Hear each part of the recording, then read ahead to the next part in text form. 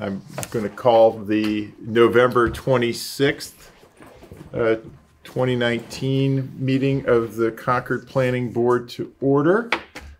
My mother's birthday. Happy birthday! So, um, but anyway, uh, and our first order of business. Oh, well, I should also mention this meeting is being uh, videotaped, and uh, you're welcome to make your own recording. Uh, Susan Bates is in the audience, who's the only member of the audience. But if you do, let us know. Um, so, um, the the first uh, item of business is uh, the uh, open meeting law complaint that we received. I thought that I- was- That's what I thought. It was at the top of the. the seven AM or seven PM. Oh, excuse me. It's this new formatting. Yeah, yeah. I think I get I got stuck because I just saw the number one, and I just okay. Sorry. So let's go back. Our Um, first this is- order of this is business. very brief. Okay. So Um, yeah. The, at the last meeting, um, the, the property owner for one fifty-nine Sudbury came to the board and, um, had a good conversation and then they were directed to go talk to the abutter. Yeah. Um, that was supposed to happen on Monday, um, and nobody's gotten back to me. So. There isn't um, anything to talk about. There's nothing to talk about except, um, should, and I imagine they'll be on the agenda for next time if they Yeah. talk to somebody. But the one thing I did want to bring to the board's attention is that if the board does decide to um, put forth a warrant article to amend the The boundary boundary. line, um, it's going to be my recommendation that you fix it over here as well. Okay. This is the gas station, Yeah. Oh, boy. um, and so just fix it so it runs along Yeah. the property lines. Okay, thank you. That's so curious, isn't it? Um, how the how the district Predates the- originally got laid out, it's a certain distance from the road. Okay. Yeah. That's Ah. you know that's all. Um, so that So, would so I presume would that gas That station then did. has a special permit as well of some sort to be able to operate the, or its grandfather. it, it's more than likely legal non-conforming. Yeah. Um, but that's going to be my my recommendation. Um, if if the board is going to change the map, just fix the map on that side as well. Yeah. This side was already fixed at some time. I don't Yeah. know, You can but- see the parking lot got fixed. Um, so that's that's my update. So it might reappear on your next agenda as well. Okay. I guess then the question, I mean, this, with the same logic that we thought that they would ask the abutter immediately to adjacent, do we feel like we need any other abutters if we're expanding that? I'm- And it's a little bit different circumstances because we know that the expansion is related to essentially moving the driveway over and all that, but I mean, Right. I don't think it's necessary, but since I I don't raised I the don't issue. think it's necessary for these because it's just correcting. Yeah, Yeah, fair it's enough. just correcting it. Will they be noticed or anything? Um, I if if the board decides to move forward, yeah, Yeah. I I will approach. Yeah. Those two property owners, yes. Oh, Is, you will. is Okay. that one fifty-three, is that, is that, One, this one, yeah, Those are apartments. those those are are apartments? apartments. Yeah. Rental apartments. Yeah, and it's interesting. There are two parcels, but that's one complex. Yeah. Right. Yeah. And isn't the house that's uh, next to isn't that also like a dentist's office? No, that's this one. I Oh, think okay. it, Yeah. Well, no, but I think it used to Oh. be. It cl- I think Uh, it yeah, and it was. was And- commercial. Is it a chiropractic? So chiropractic? I thought there was Some- something some in sort but there. it of appears now to be kind of. I thought maybe no, the Does that house just a house. Yeah, it seems. Does that not count as But a? I vaguely business? remember there Or being it might be a home there. occupation. Okay. Uh huh. Learn so much. Okay, Yeah. Yeah. there you go. Okay. So should we move on then to administrative business? And now we can discuss the open meeting law complaint. Um, so uh, we got this uh, complaint from Tanya Galis of 62 Prescott Road. Um, there is, as explained on the complaint form, um, what we need to do now is disseminate the complaint across the board members, which we've done, uh, to meet and review the complaint, which we're doing right now, um, and then uh, to write up a response. And uh, we can delegate that to a member of staff, uh, but we need to discuss this and come to our consensus as far as our response. Um, so, yeah. Well, And we can ask for more time if we need more time. In terms of the s- scope of the response, um, do we have a sense of, should it be to rebut the points in the complaint, to address other steps we might take? Well, that's the point of our discussion. Yeah, Okay. yeah.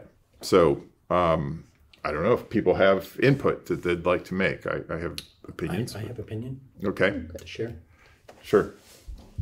I think that the, well, there were a couple of elements to it, one of which was that I think that the basis of our decision was um, brought forth late in the process and not reflected in the minutes.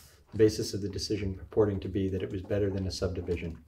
And I think that that misconstrued the conversation. I don't think that was the basis of the decision. Certainly when, I went back and looked at a video of myself, what I said was, because as we know, we need, in these PRDs, part of it is considering um, the surrounding Yeah. neighborhood. And I said that when I com- compare it to the, not a hypothetical unsubmitted subdivision, but the actual subdivision immediately next door and Yeah. immediately across the street, that I thought that this model of development with the clustered houses and the preservation of the house in front was preferable. Yeah. Now, that being said, that still was not the, the. Reason for the approval. The, the central reason for Yeah. the approval. Right. Um, it, it was based upon me thinking that they met the other requirements for PRD and having made a lot of different adjustments. So the fact that that wasn't reflected in the minutes, I, I didn't think um, missed the point of certainly what my input in the meeting was. Okay. Other other perspectives?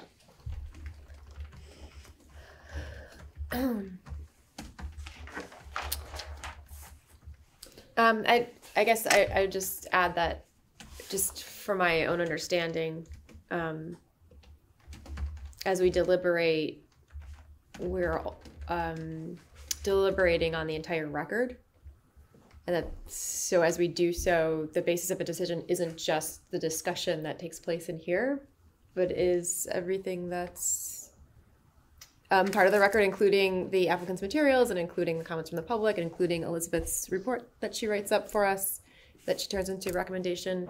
Um, so that's, is that correct?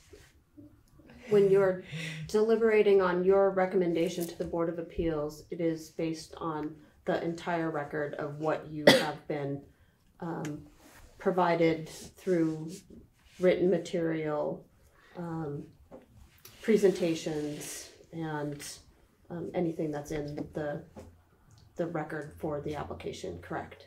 Okay. And The then, just another point was there was this discussion as to whether we'd taken a vote or not. yes. Well, we had an opportunity, I think, to review the comments on the draft minutes about that point. And I think we, as a group, looked at the draft minutes and determined that they were accurately reflecting what happened. Right? I mean, I don't know. Did you have a different I, opinion? well, I may not have been here for that review of the draft. Oh, okay. But, but um, Maybe my, could- my my recollection and, and having refreshed myself by watching the video is that we you sort of did a uh, a let's see a show of hands of where we're going and whether Yeah. we should direct the planner to prepare Right. a draft letter of recommendation. Right, Uh, at which point we would have a formal vote to approve the letter of recommendation. right. Um, But we got a sense of the board. Yeah. Right, and in fact, then when we came back for our final deliberation, that was the following meeting. Right. We, we met, we deliberated, we had a vote. Yeah. Um, we did not take public comment at that point. That's right. Um, so, so as to whether that constituted the vote or not, um, it, it, I- it seemed to be, to be a, a, a business practice we've done in the past of providing the planner direction as to whether we're ready to, That, to move on to the formalities of a vote, but it was not the vote itself. right. And do we have a convention um, in the minutes on whether we call out, when we call out a vote as a vote, that it's always a formal vote versus we don't do that for straw polls? No, but we did note that we did take that. Understood. Yeah, But we so- didn't, but Yeah, yeah, in terms of noted as a recording it as a vote, as we typically record a vote, yeah, we have a convention that's a vote, only calling out the votes that are formal votes. yeah. Because they are moved and seconded and Understood. upon. Yeah. Right. And okay. that, so that we we're, know we've who does consistent. each we of do those that. things. We do that yeah. consistently. Yeah. Okay. I, I'd like to make one more comment about the, the alternative to a subdivision thing, which is if you look at 10.1, the purpose of the planned residential development bylaw, the very first sentence says, planned residential development allows by special permit from the board an alternative pattern of residential land development. So it is by its nature always an alternative to what otherwise would be the de facto pattern of development, which is more often than not would be a subdivision. Now, I also agree with Burton that, you know, again, while I think the context of a PRD uh, application is always as an alternative to a conventional uh, plan, that it wasn't the, the crucial thing that, that made the decision. It was a lot of changes that, to, to the plan to improve the, um, especially for me, the most crucial thing was the the change to the street streetscape and the preservation of structures, which you absolutely cannot take for granted, um, and uh, that I, I consider to be a, a very uh, great outcome for this uh, this uh, project. Even though there are many other little details I would rather see different, uh, quite a few details, in fact, I'd rather see different. But that's true of every PRD. Yeah, I mean, I, I think that that was, we, we perhaps learned a lesson in, in, in, uh, in speaking freely when some people might be hanging on every word. But that wasn't part of my deliberative process at all, is comparing it against, I, I, I couldn't tell you how many houses could have gone in if it had been a subdivision. I couldn't tell you how, what the lots, if it met the minimum lot sizes, anything like that. I didn't consider that really at any point. I mean, and, and specifically, I wasn't comparing it against what subdivision can go in there. I was Well, and there, that's the the other thing is that I wasn't speculating about any particular division of the property, other than just that the fact that a subdivision divides a lot into conforming parcels, regardless Mm-hmm. of what proposal that is, how many lots there are, whatever, and that just that is a pattern of development versus something that preserves open space and preserves structures and it, you know, in, and the sight line from the street, that's superior in my mind. And stepping back as to the, the crux of the open meeting law complaint, Yeah. I think was that the minutes themselves did not reflect the, deli- the deliberation in a Right. way that, according to the requirements of the open meeting law, a reasonable observer would be able to come back later and interpret wh- how, the, what business was undertaken and how a decision was made. We have what seven meeting, or however many meetings we've had on this project, which did change over time, but we were raising the same issues, Yeah. this asking the same questions, comparing it against the same sections of the bylaw throughout that process. I think our deliberative process was clear, and the and the basis for our decision was clear. I don't think there's anything that comes anywhere remotely close to hiding the ball on how the decision was made, such that a reasonable person couldn't come along later and determine from looking at the meetings why the planning board decided to do what it did. Yeah. So I think the complaint is without merit. And Any, any, Yeah, just one more thing, and I um, would hope that we would be able to speak freely, as because especially because of the open meeting laws, which we all um, abide by.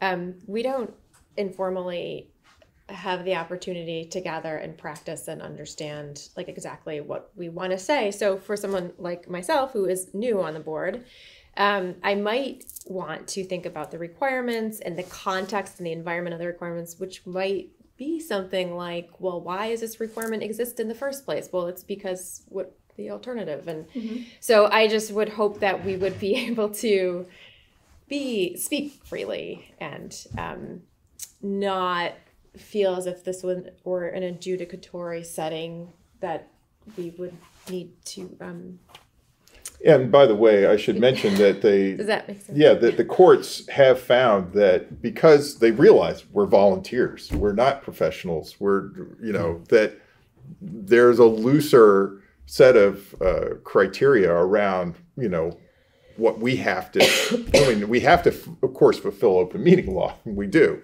But that, you know, in terms of every little detail having to be what you know an, an attorney would consider okay that's perfect. We can't be held to that standard because we don't know en- enough. Um, Well, and I also think that discussing, for example, I mean, there's nothing in there that says you cannot consider how this compares to a hypothetical s- subdivision. There are stan- there are requirements in the statute for pr- pr- pr- um, approving a PRD. yeah Having discussions about and we What walk through all other of Yeah, things and that could go think in you- there. That's right. Yeah. Repeatedly what brought you us had back for to that. lunch, whatever it may be, we can have that discussion. Ultimately, and I think you know, just my my takeaway on this is, um, w- our decisions have to be based upon, and and find and find uh, support in. In in what the re, the planning regulation uh, the, the the the bylaw provides for the, the basis of the decision you know, does it meet this criteria, that criteria, the other criteria? We've looked at other issues, like what comes to mind is another one that was a very high profile one was you, um, before your time, we were looking at some uh, cell towers, right? There's pretty specific um, requirements that it needs to meet or not meet. The pro- proponent needs to put forth their argument for it.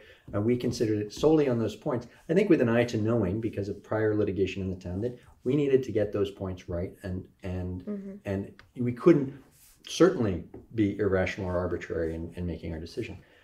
In the case of a PRD, one of the things that's d- different about a PRD than a subdivision is I think that there is there are more fr- words and phrases in the in the bylaw that refer to things like uh, that's not the word, but you know neighborhood character or it, it, uh, you know those kinds of things, which are inherently subjective.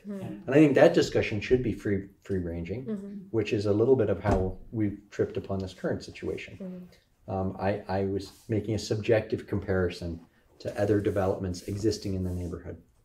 Um, I don't I don't see that as being disqualifying, but it wasn't also the basis of my decision. I just want to iterate. And, it and I think that's time. the most important part about when it says in the complaint, what action do you want the public body to take?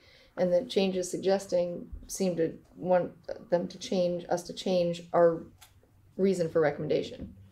And I think we've all agreed this was not the reason for the recommendation. Subdivision would be worse. Well, it wasn't my reason for sure. I, I mean, I, I think that the it's reason not that, the the reason for decisive recommendation was reason, because yeah. of the, it met the criteria in our. And thank goodness so we have at- Elizabeth. Yeah. thank, thank goodness we have a tape recording. um, so at this point, to um, and the only other, I believe, the only other point in here had to do with um, statements that I made at a board of appeals meeting, which um, isn't here would, which is not part of your minutes. Yeah. So, um, I. Yeah. So if the board wants to provide their. okay and then um, i don't know if it's opinion on worth that. going on that. down the Oh, and I'm list sorry, on which point? Um, the The- point in here that, um, that the town planner made, uh, comments at a Board of Appeals meeting regarding a vote of the planning board. Um, I'm, I'm not sure how that is an open meeting law violation for the planning board or your minutes. I, yeah i don't think it's something that we have to think about yeah So we would want to address that in Yeah. our response. So um, the response should be that um, it's not pertinent to the planning board. that for on that point Okay. Um, I don't know if it's worth going down this public body checklist for creating and approving meeting minutes. I mean, it'd be kind of tedious to do so. I think that, you know, it just, I think we meet the criteria is all I'm going to say. There's a, a list of things that, um, you know, we have to do for So- minutes. I, I'm astounded at the level of detail and the le- and the, and the amount of information Oh, that goes in into our our, minutes. meeting minutes. As, Yeah. as a secretary for several corporations who's taken a lot of minutes in my life, I, I can tell you that our minutes are verbose, lengthy, and detailed. Uh-huh. Um, so, uh, um, and and compared to uh, you know, uh, uh, when it comes to open meeting law, I'm on the CPC committee, uh, and and I think our our our minutes are equal to that, though. Um, you know, that's also planning Yeah. staff that prepares those, and they do an excellent job. So I don't Um, think we need so, to bolster them. um, at this point, um, if the board would like me to draft a letter for review and signature by the chair, um, Do we need to make a motion on that? Or, Oh, sure. Why? Would you just, could you state your reason? Let's, I, I, w- w- well, let, let's, let's be formal about it. So I- what Yeah. I would suggest is that we, we have a vote. We recommend that town planner prepare a letter yeah, and then a response and then we, then, um, I'm just thinking about how we want to, whether, You can have That's one, you can have one person review it yeah. on one person behalf of the review. board. Yeah, I think Burton is I probably thought, I thought he was volunteering. Yeah. yeah, okay, I will do Thank that. you, Burton. Okay, so at this point, we have, um, taking some of Burton's comments, uh, about, um, the, um, it's the board's um, opinion that the basis of the appeal was, um, you know, not on the subdivision, it was based, your- your deliberation and recommendation was based on everything that was in the record.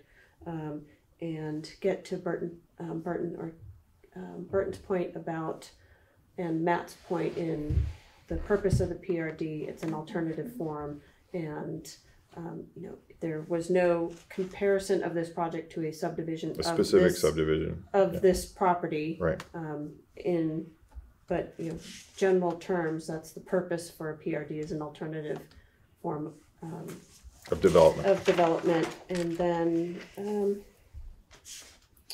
uh, and then there was Burton's, um, point, um, about the, um, the deliberative process, um, And the vote. Yeah, the The- vote, the que- include The the question vote. that they. Question that of a vote. The vote to recommend happened on the twenty-fourth versus the tenth. Um, Oh, for the vote, I'm, yes. I'm not sure I understand the materiality of that, but the point being, I thought our formal vote happened on the twenty-fourth. It We recommended to you that you, that you prepare a letter for us to consider. And we did even review the draft minutes in light of this, you know, comments that were made and determined that they were properly written. Okay, so no, I think I have enough to pull a letter, um, together. Um, I think this was filed on November eighteenth. Um, the board has, uh, what, fourteen days? Business days, hopefully. Um, I'm gonna have to, I'm gonna have to check. Um, Let's see if there's, so, what it says here. Fourteen business days. 14 business days. Okay, one, one, two, so, one, two, Well, we've got fourteen days to review the complaint, and then after review, we've got fourteen days to file a response. okay, so I just, I just wanted to make sure with the holiday that there, um, cause I, I won't be able to do this till next week. Yeah, I mean, we should have Hand until the middle of It's Nine December. floors up from me at work. Ready? Okay, so, um, next week I'll have Ashburn this, um, Place. to That's where I Burton work. to Thank review. Okay. Were we gonna vote on that? Do you want to vote Yes. on that? Oh, Um, a mo- motion, I- I'll I make entertain a a motion. That we, uh, ask the planner to prepare a response letter based upon the points of our discussion this evening. And that, uh, she circulate that to me to review it on behalf of the board, uh, with time to submit it within fourteen day, business days from today. Second, A second. Any discussion? Okay, all in favor? All right, passed unanimously. Okay, so let's move on now to the discussion of our November 21st zoning forum that we held last week. And uh, what do people think? Um, I've gotten actually comments back from people that they, they thought it was really good, All right, um, and, and very helpful at this stage. I thought it was very helpful thinking of of having to potentially present one of those, even though I'm going to try to you know pitch mine to the uh, the moderator as being totally non-controversial. but if I have to present them in, a town meeting, Yeah. I mean we, we had um, you know two groups of about 15 people, and they and they and they each asked at least three questions that were the same in each in each group. Mhm. um, which was like, oh, well, that's exactly what we need to be prepared for Mhm. because those are the concerns. And a couple of them were, in fact, things that were raised that we, I don't think, had come up in our consideration of the Right. article previously. And So it was group- really valuable. That was input. Just so- accessory dwelling. For the Yep. viewing audience, your group was the accessory dwelling units. Yeah, and and people were asking about what would it mean to the increase in impervious paving um, if you were essentially increasing the number of residents. It could be u- utilizing the same lot.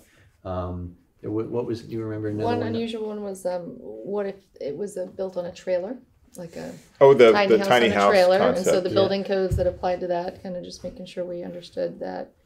And yeah, there was one more. Um, uh, kind of how would you enforce owner occupied? oh yeah, Oh, that was yeah. the other big question. And and Marcia Airbnb addressed type that kind of while she was in our group. Uh, we were there too. And then um, parking. Yeah. Talked about parking.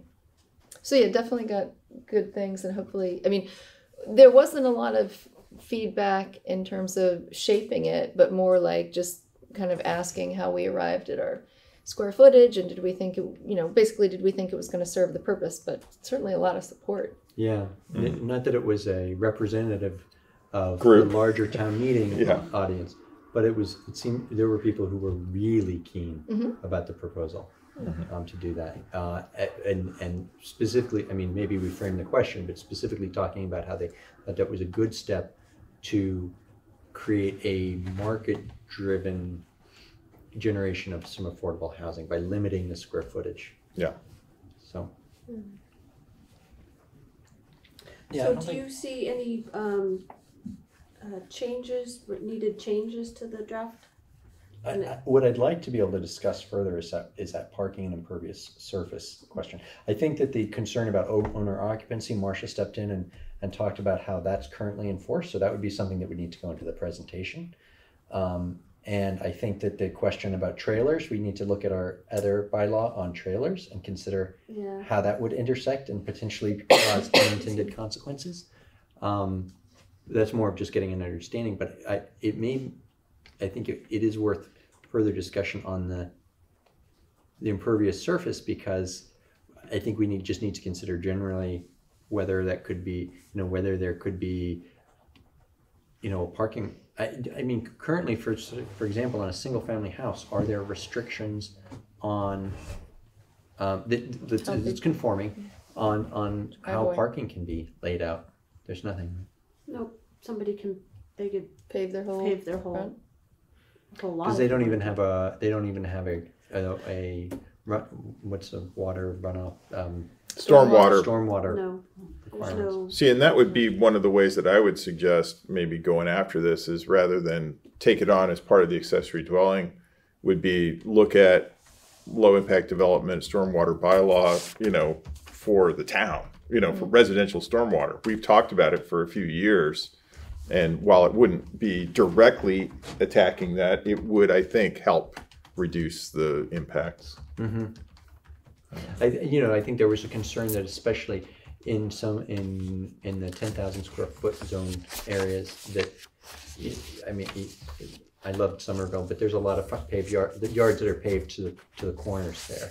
Yeah. Um, uh, with, you know, parking everywhere but where the house is. Mhm. And I think that was a concern, and I don't know how, y- y- like you said, I, I think it's beyond the scope of the accessory dwelling unit bylaw, but well, I mean, not, so, um, if, if, if you, if it's a, a concern that was raised in, in both forms and, you know, is, is part of the, you know, the climate change and sustainability and, um, you know, that discussion in the community, um, not addressing it now, um, yes, later on, you could, the, you know, decide to move forward with some type of residential stormwater bylaw, but, you know, that you're talking a couple of years away, Yeah. and everything that, you know, came through before that Yeah, we go wouldn't- through. Wouldn't apply.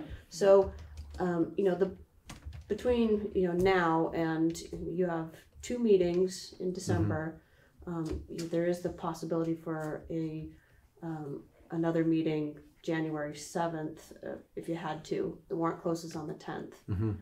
Um, I mean, you can think about, and, and I also think it was parking, number of parking, so not Mhm. requiring two spaces for the accessory dwelling, you know, requiring, you know, a maximum of one or one additional space. is there, so is there a parking requirement for, for a Dwelling conforming unit. house? Uh, for dwelling yeah, unit? Two, two spaces per dwelling unit Oh. is the, is the requirement in the zoning bylaw. So then, yeah, well, but We definitely don't want accessory dwellings to have to have two additional spots. we to don't have want four that, and but we then you have can't really say, it, it, it's a man, it's a minimum. So you can't really say then the accessory dwelling unit has a maximum, very, because you could say, oh, well, the primary house, I decided to have four spaces. Well, but I mean, you can say that the you know accessory dwelling unit, you know, a minimum of one parking space, and you know, not not everybody wants to pave over, and you can say that that one parking space shall be an impervious surface, You mean a, a Impervi- pervious, a pervious a pervious surface. Yes, sorry. so you can, I mean, you can add that to the bylaw as a. I know, think that's, we should give consideration to that. It was raised by a a number of people, both, both as a concern about overall parking and traffic, but also the, uh, um, the resiliency aspect. Um, and then I can tell you to, um, that this came of actually, um, let's see, Monday, yeah. Uh, the finance director was just notified by DOR that towns can request, um, a list from DOR of, um, all the people who ha- are registering and paying, um, tax Hmm. under A- Airbnbs. Oh, wow. Um, so they can provide a town a list of anybody in the town. Um, Hmm. So that you would know. email was forwarded to the building commissioner. Um, and so there was a concern with accessory dwellings that people are just gonna do that and then Mm-hmm. know, have them be rented for Airbnbs. And so we now actually have a mechanism that the building commissioner can get this list, send out a courtesy notice saying, you, you're on this list, you need to file for a special permit for a bed and breakfast Right. so that, you know, the abutters can be notified and, um, so there now is a mechanism to be able to monitor that, uh, which I mean, up that's- until, up until now, it was only, um, if somebody filed a zoning complaint, the building commissioner would actually go on Airbnb, um, Oh, and I have to put in search it out. Concord, look at the picture, Yeah. see if it's the picture of the zoning violation, so it was, it was definitely not intuitive. Yeah. Um, The the only other thing that came up, and I don't I don't want to take too much on this because it does seem to be much more straightforward than the PRD and things like that. Was um, one mention that uh, which made sense to me that if you can obtain by special permit uh, thousand square foot, then the thought was well everybody's going to do that because they can and it's more square footage and As It's a lot of work. it's- Takes Well, some and, and that was the Still have to go through response. the Yeah. process. Our response Not was the necessarily work get and the cost, the additional cost was hopefully the deterrent to keep everybody from doing that.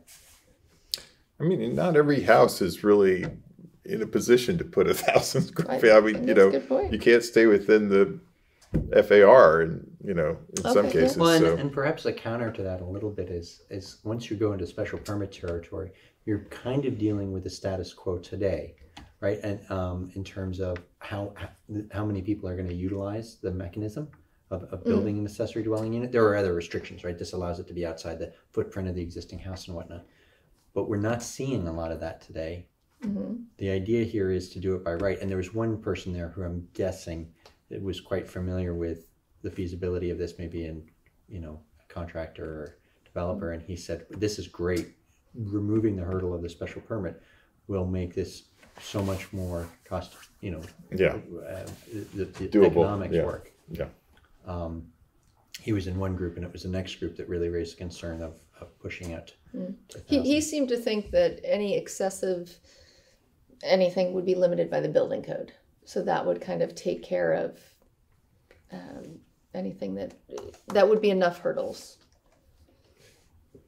So the by right was good. All right, that's So for, um, for that one, if, you know, if there's any changes you want to the draft bylaw for next time, I'm not sure you're gonna be, a- you know, um, we might look at having you do your bylaw discussion uh, as your first item for your Oh. December 10th meeting? Yeah, Well, I don't know. For Oh, the sake of the public, I, I think it's actually better to do Yeah. that first. Uh, do do the yeah. the PRD application first. Um, so. so if you wanna just get back to me with any suggested actual changes to the draft bylaw. Yeah, you've given me st- some stuff to think about, so I'll go look Okay. at. Yeah. Okay. Does anybody else have any thoughts on the parking? What would be an appropriate way to, to provide that kind of restriction? I mean, I did have the same thought you already mentioned, which was just that if there's not a cap for the main house, they'll just say, okay, we'll put a pervious parking spot over here, but two more, three more, or whatever over here that are. maybe just Yeah, clarify, That's, that's still, that's still an additional cost. It's, Of I course, mean, yeah. but you think it's, we should be clarifying that that accessory dwelling unit doesn't require more than one parking space to go with Correct. it? I- So the implication being, you'd think was that it, because it's an additional dwelling unit, that there'd be a requirement for two more spots because they, Yeah, so so that seems like a no-brainer to fix.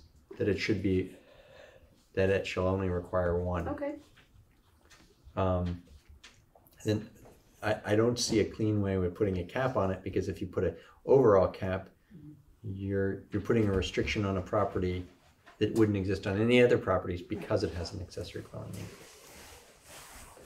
Well, you got to give up something. Sure. so I mean, you could say that you can't have more than some percent increase in impervious surface as a consequence of doing your accessory dwelling. that sounds like a And then- special permit review. Yeah, I was gonna of say, thing. then somebody's gotta Yeah, pay for gotta that come up analysis with that, and yeah. then, okay. Okay, yeah, the building commissioner would not like Yeah. that one. I can, I can see it now. Okay. Uh, Nathan, you- I, I know you had done the reprise of the um, two-family at the meeting, so maybe you could lead off that. Yeah, I mean, uh, a couple of the same points. Um, the parking was an issue. The use as a Airbnb type place was an issue. Um, but I thought in general, uh, similar to what Burton was saying, I thought it was helpful just to get a sense of what people would, you know, outside of this group, think uh, about these ideas at first glance, and that helps to inform how we'll talk about it leading up to town meeting and for the presentations. Um, so I thought that was that was definitely helpful uh, for us. And I did I, I, one of the other things I was thinking of. I don't know about anybody else's, uh, but in the two groups that we had, there was nobody who was opposed To the what we were- concept. yeah, to, in in really in any way No, I- right. um, which was kind of surprising. I I, Yeah. I thought there'd be at least one person in one of the groups who just you know by chance. Yeah, I would say like, I don't want those. so were there Yeah. any changes to the two family that kind of, to the draft warrant article that kind of rise, rose to the top? Other than those concerns around how to deal with the increase in impervious surface, which is pretty much a shared concern with the accessory dwellings.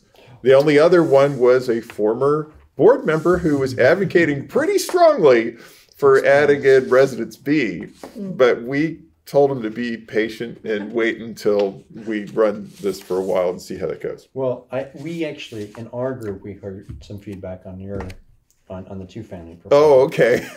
There's overlap. Well, wh- which was why are we focusing on the already densely populated parts of the town? Why is this being limited to what is that A right? A C. C. Yeah. Why are we focusing on C and one and, and other areas?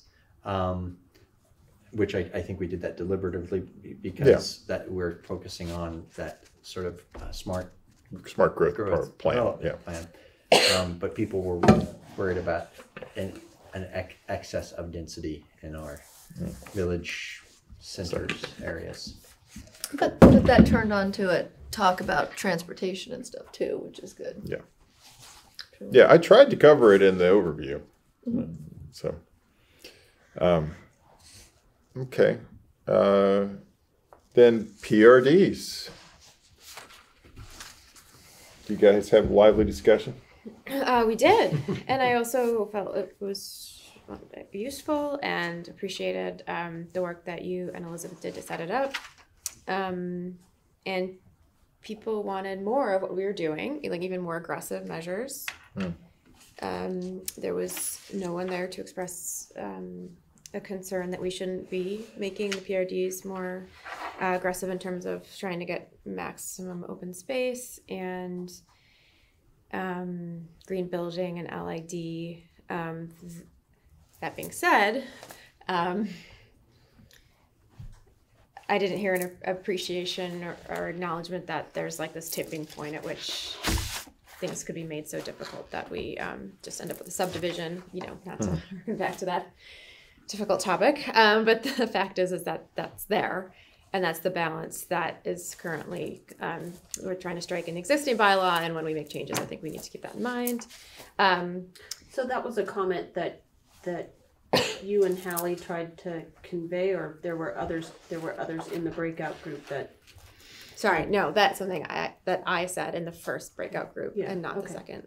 okay. Um, I didn't hear anybody else expressing that concern, um, or, or acknowledging it. Um, but yeah, no, but it was uh, really useful. So there was just a lot of um, um, enthusiasm for um, increasing the requirement for open space, um, being more aggressive or aggressive about um, having the buildings be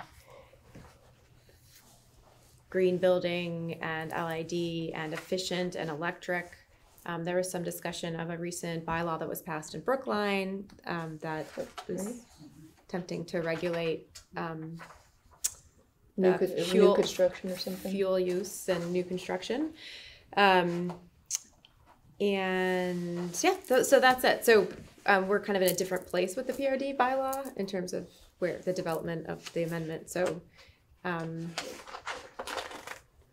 Well, I think, I, I mean, so part of, um, the whole, uh, PRD bylaw is, um, and we can see if Marcia could come back, is the history of the bylaw and when it, you know, first went in and, you know, wasn't used and then certain things were changed and it started to being, you know, used again.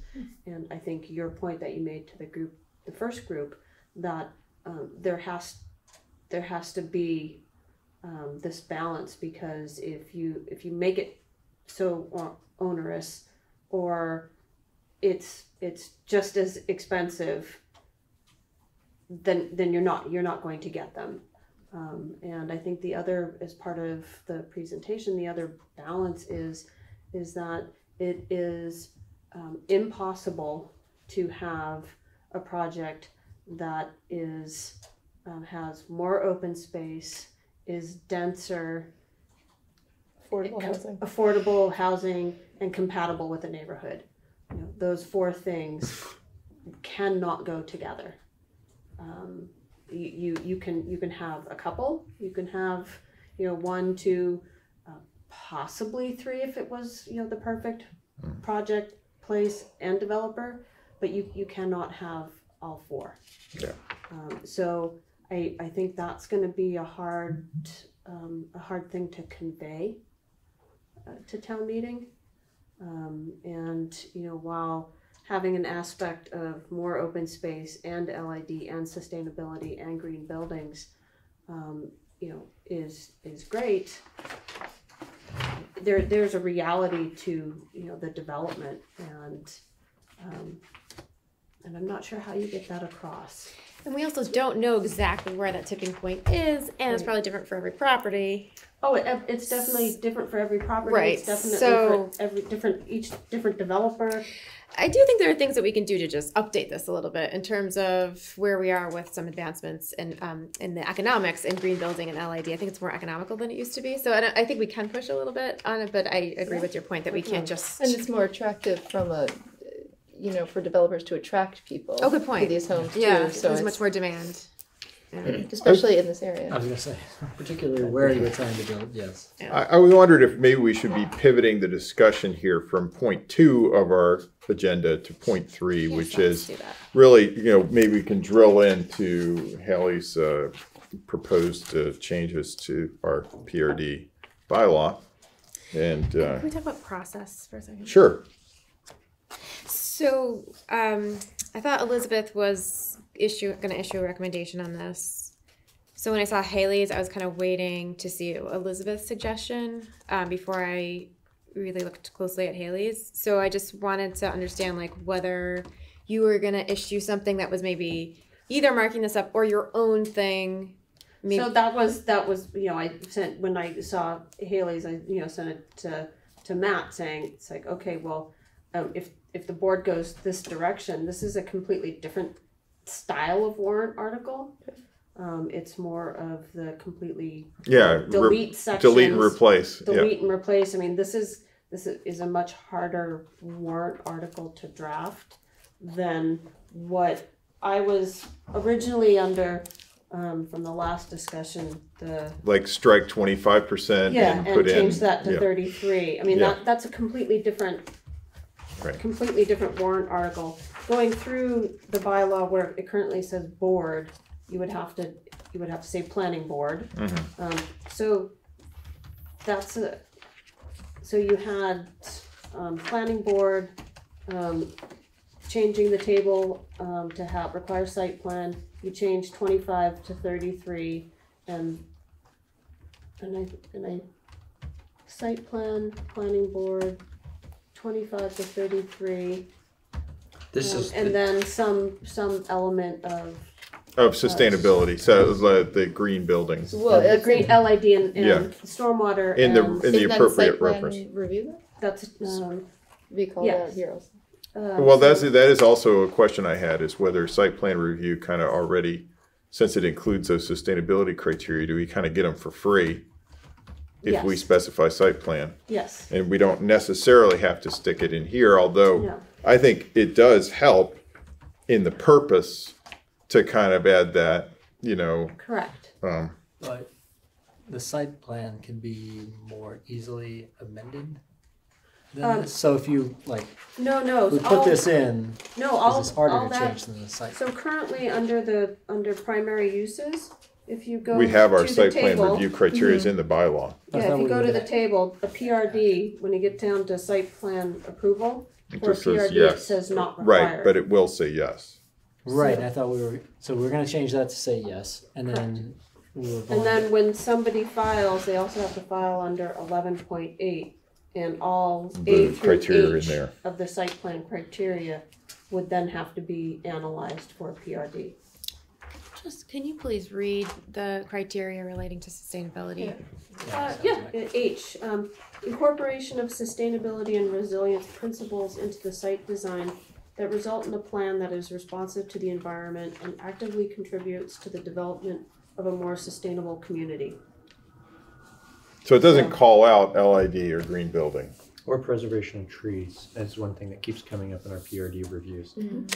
Um, which, if we're if, if we're doing a cut and replace, I that would be another thing that I would maybe s- suggest. Well, I think that's one of Matt's, um, I mean, if you're, if you're not gonna go to, you know, you know, Hallie's level, So But- it's on the bottom there. add on, you know, take some of the elements from this, I think that's Mhm. where, um, you know, you can, you can add, and I'm, and I'm not sure if it's, um, principles or, um, I'm gonna actually use the current bylaw.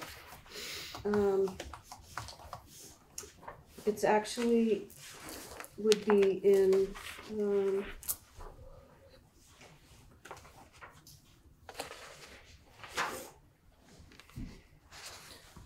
Um, I think you would probably, um, you have your planning board, uh.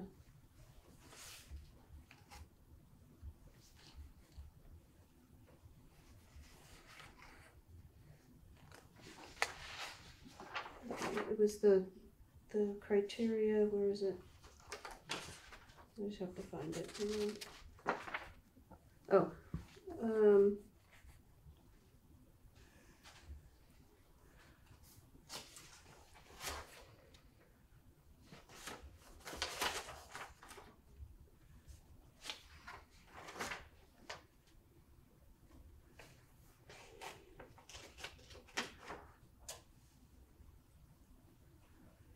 Yeah, so under the current section ten four two, planning board report and recommendation, the board has to review the development statement and plans um, and make your rec- uh, recommendation. And there's uh, a review of the proposed development, including design, use of the buildings, and open space between and around them, pedestrian, vehicular circulation, uh, parking, grading, landscaping, trees, uh, landscaping, screening. I mean, you, you can add, you know, preservation of existing. So I think there's way to, to add into this criteria those elements. There's also in here, um, there's a requirement in here regarding the grading. Now, won't we actually have to rewrite the section of the PRD bylaw where we talk about our planning, you know, our, our recommendation and what our report has to contain and stuff like that? Because now, once we're the permitting Yeah. authority, we're just gonna, Yeah, this, this yeah, will, this we'll have will to get recast basically- all that.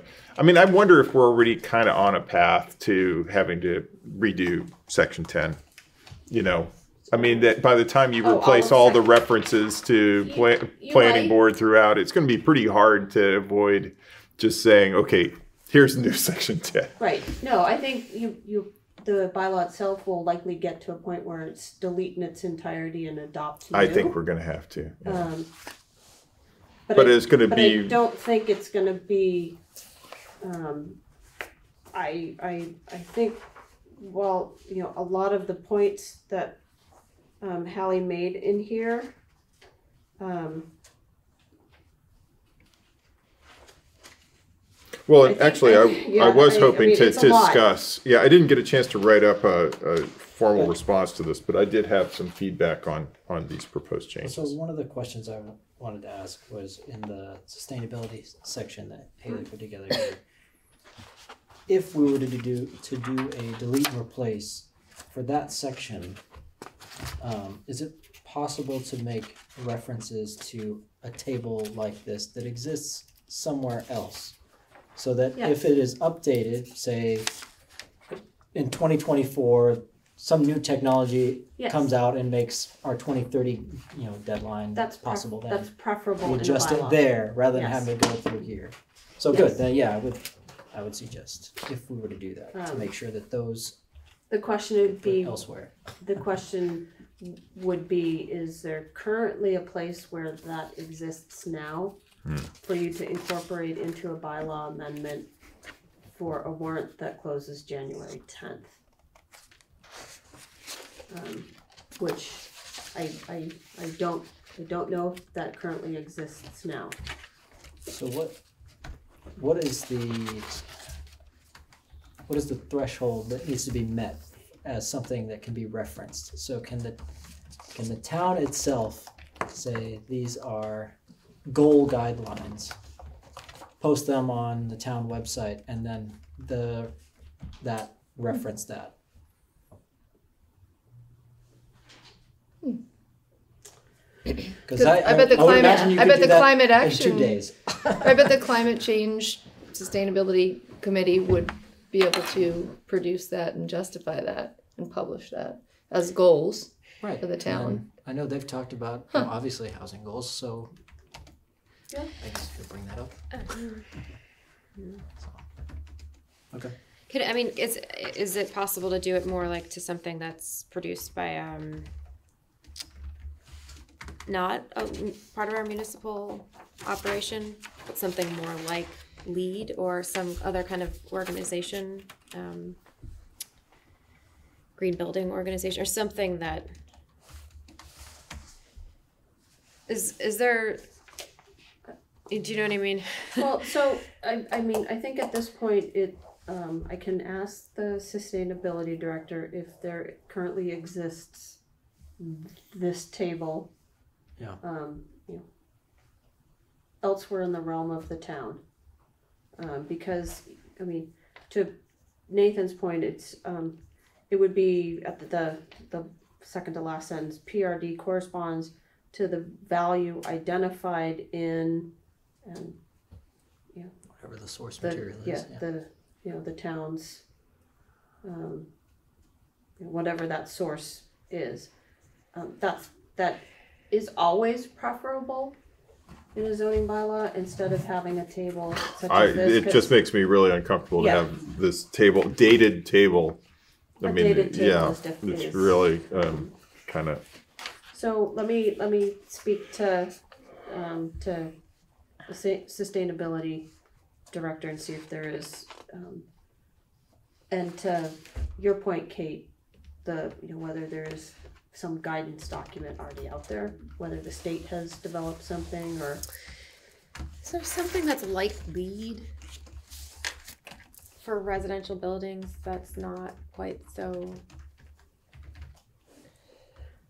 That's something like you know a level three rating of this organization, which can, which might consider like all sorts of things, like LEED, how you can get points for different. Wait, I'm. Do you know about LEED? Mm-hmm. Okay. So let Um, me, so let me talk to Kate and Okay. we'll also talk to Gary Kleiman. But do you know what? Do you know what I'm saying Yeah. in terms of like Yeah, wanting to get like have it be certified in some way by um, an external organization and have it be um, like they get credit for different we don't need to specify exactly what they need to do but they get credit for different um, aspects of and there is a public reference and it can Yeah, be dynamic. yeah. Yeah, it can be updated. Whereas this is enshrined in the, there like a- enshrined in our bylaw and it, it may look great right now, it might not look How- great like in a a while, house. you know? For residential, I'm not sure. Wh- What's that?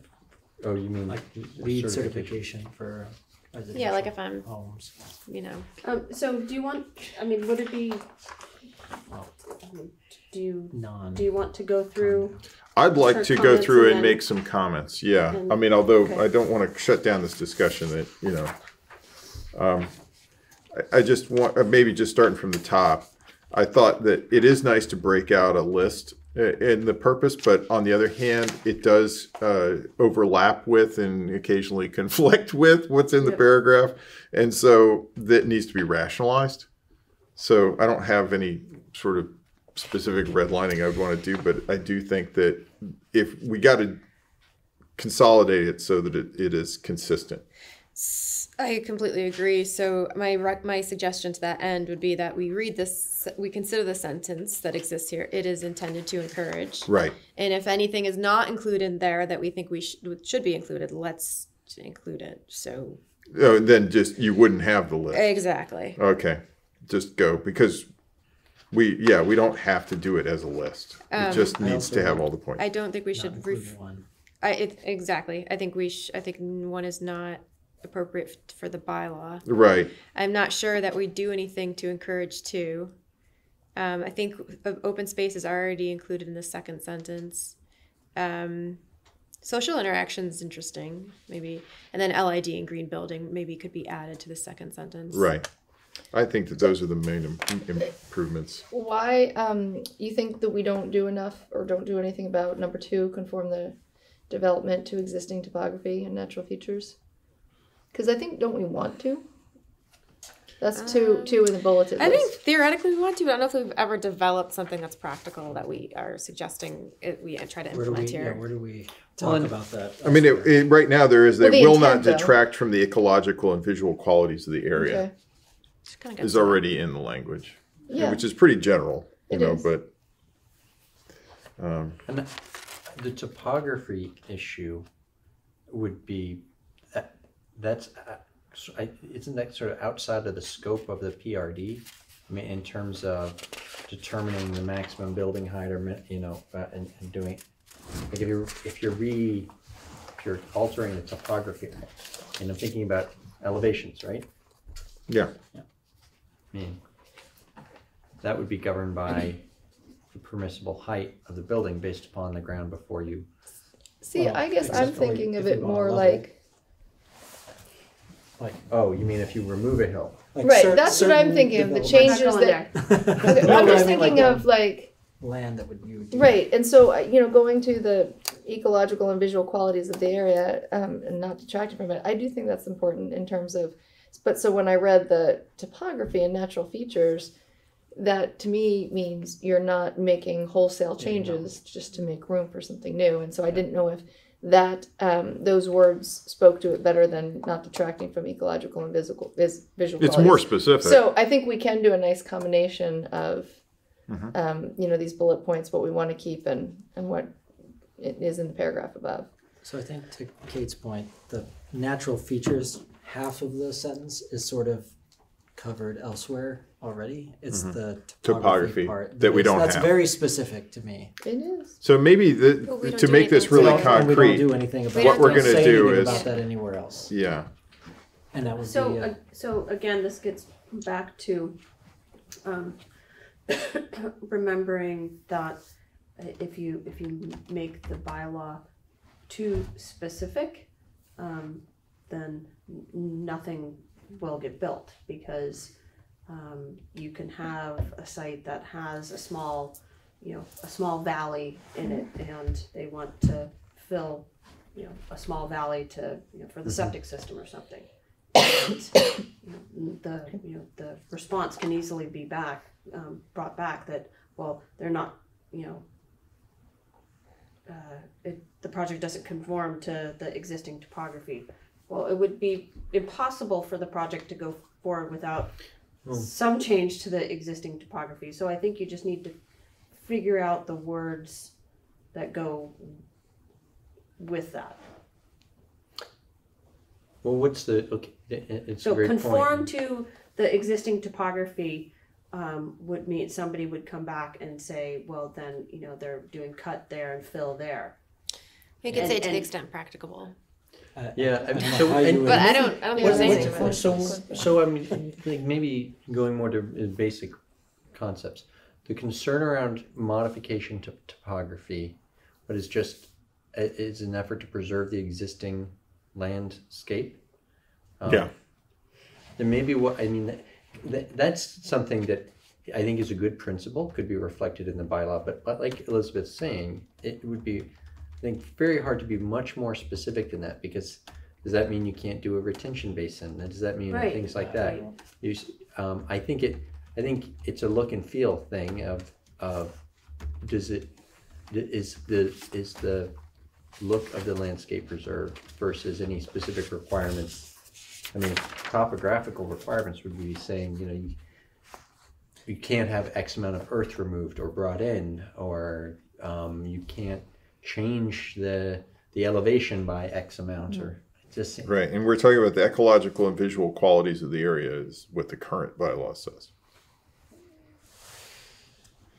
So it's pretty general, but it kind of Well, gets it's the to that. purpose. Yeah, right. Um, I think the the topography comes it trickles down into the cost of development. So it's like it ends up impacting the amount of open space they can provide, or how many units they have to build. Anyway, And, ra- and it's interesting that one of the bullets is consume less open space because that That's the flip of the yeah, yeah. instead of like preserve. I'm just I'm Yeah, curious to know. It's what a I think, flip uh, of the language. I think that meant like develop less land. I think that's what they're trying, Yeah. trying to say. Um, Oh, okay, and yeah, huh? So you could say um, a project that attempts to limit um, significant changes to the existing topography. I mean, now I'm now I'm hearing what they're saying about I don't think we should make it an emphasis. right that that we might not want to Okay. use Might the word regret. topography Yeah. at all. yeah. All I right, feel so like- at this point, are we changing anything in the purpose? Yes, I- I we're going think to add we the. will. we're Add gonna add LID the and green LID building. and green Okay. building. So second Yeah. sentence, add something about LID and green building. Okay. All right. And I'm just, I'm, I'm, s- I'm sorry, guys, because I'm a step behind. Is LID? Low, um, low design- impact. is- is- Storm, yeah, stormwater Stormwater. work. You're- That's, that's storm, that's a defined term from stormwater. Yes, Okay, as long it's as a it's, specific type it was of. capitalized here and I. Yeah, no, of it that- is a set We're of. Wikipediaing Yeah. LID after Yeah. that. I get- So it just- should be low impact development. Um, Yeah. Low imp. I think it's is it low impact development, I think that's what stormwater is. design or something. But I'll Yeah. find out. It Okay. seems to be a specific methodology of assessing stormwater impact Well, and Versus designing your certain- curbs and everything as a consequence. versus Yeah. standards versus something like that's a standard list of standards or see. certification. But I'm also I I need to know a lot about it and because and folks also were saying why are we just doing LID for PRDs? We should be doing it For townwide, which gets back to Residential the stormwater bylaw. It gets back to the stormwater bylaw. Yeah. This is our pilot for it, is the Thank you. PRDs. That's you said that. Yeah. Okay. Yeah, so I, actually, I you. wanted to jump all the way to uh, uh, page four uh, in my, unless um, anybody else has something. And, and it was the lot area, frontage, and yard requirements. Now, I think our existing um, boundary, you know, limits are based upon side yard setbacks, right, for the, What number? are you- for the district 10 that they're in. That when we say twenty feet today, that's like a side yard setback for residence C. And if we have a, yes, thirty feet would be a residence A side yard setback. Um, uh, n- Side yard setbacks in all districts is fifteen feet. Oh, it's only fifteen, okay. But I, I just was again worried about like increasing it to fifty feet. That could really have an impact on, let's say if we have a one acre PRD, fifty feet in all directions, it gives you a pretty, you know, tight building area and no place for a central open space. Exactly. So I don't like this change personally. I, Yeah, I, I, I'm, I'm with you. Um, I do like the buffer concept, 22, 10255 down below, um, which just kind of legislates what we already negotiate. But I wasn't sure about this. Like, what exactly effective buffering and screening, I mean, is it? Where there's a developed structure at, along that property line, or is it along all property lines, or do you know what I mean? As written, it's just the everywhere. tract and adjacent So property. are So anywhere they- there's an adjacent property is how I read that.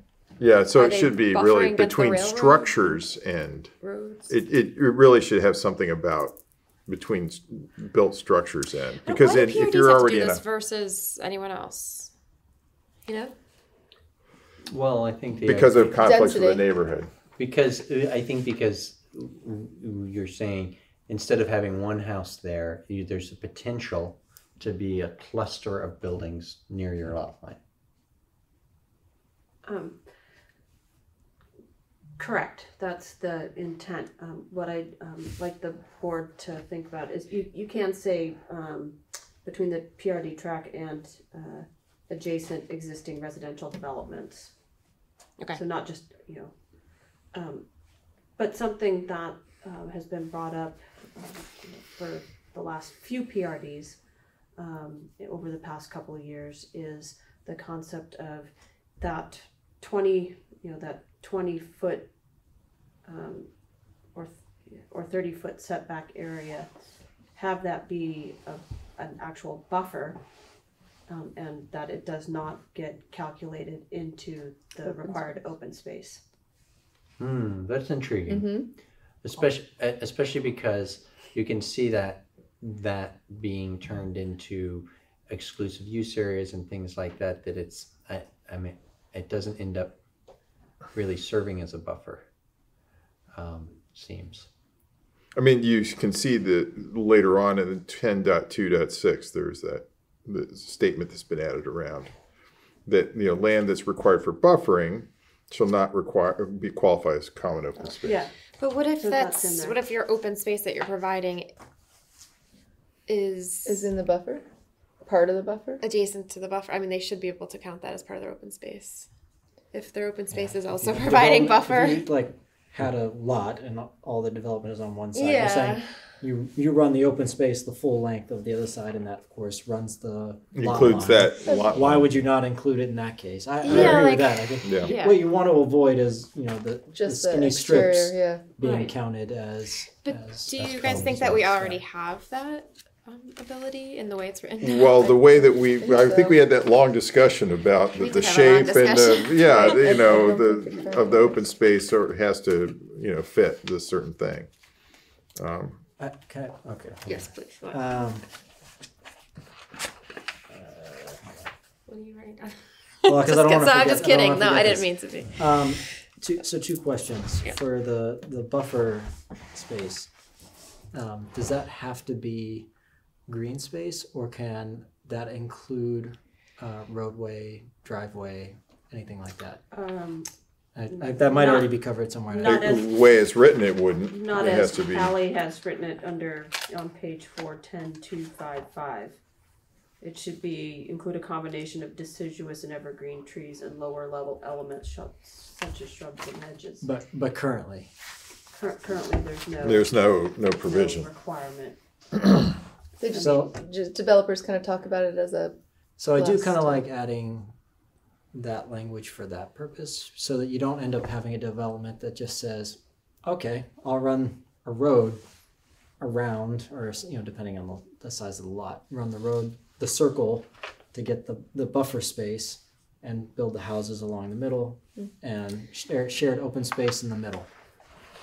Um, All right, so um, something that we all need to um, just think about a little bit more for the next meeting, and I'll try and and just send your thoughts back to me, and I'll try and and, and I'll talk with Hallie some more and see if we can come come up with something. I think it's impossible for to wordsmith. Yeah, Yeah. but I did want to, I just But no, go- state there are a couple of, yeah, Yeah, a couple other going. bigger items. Um, Can we just Okay. finish talking about buffering? Wait, So, so yeah, Oh, no. have my other second. My second question, kind Okay. of related to that, it is more of, I guess, uh, a legal concern.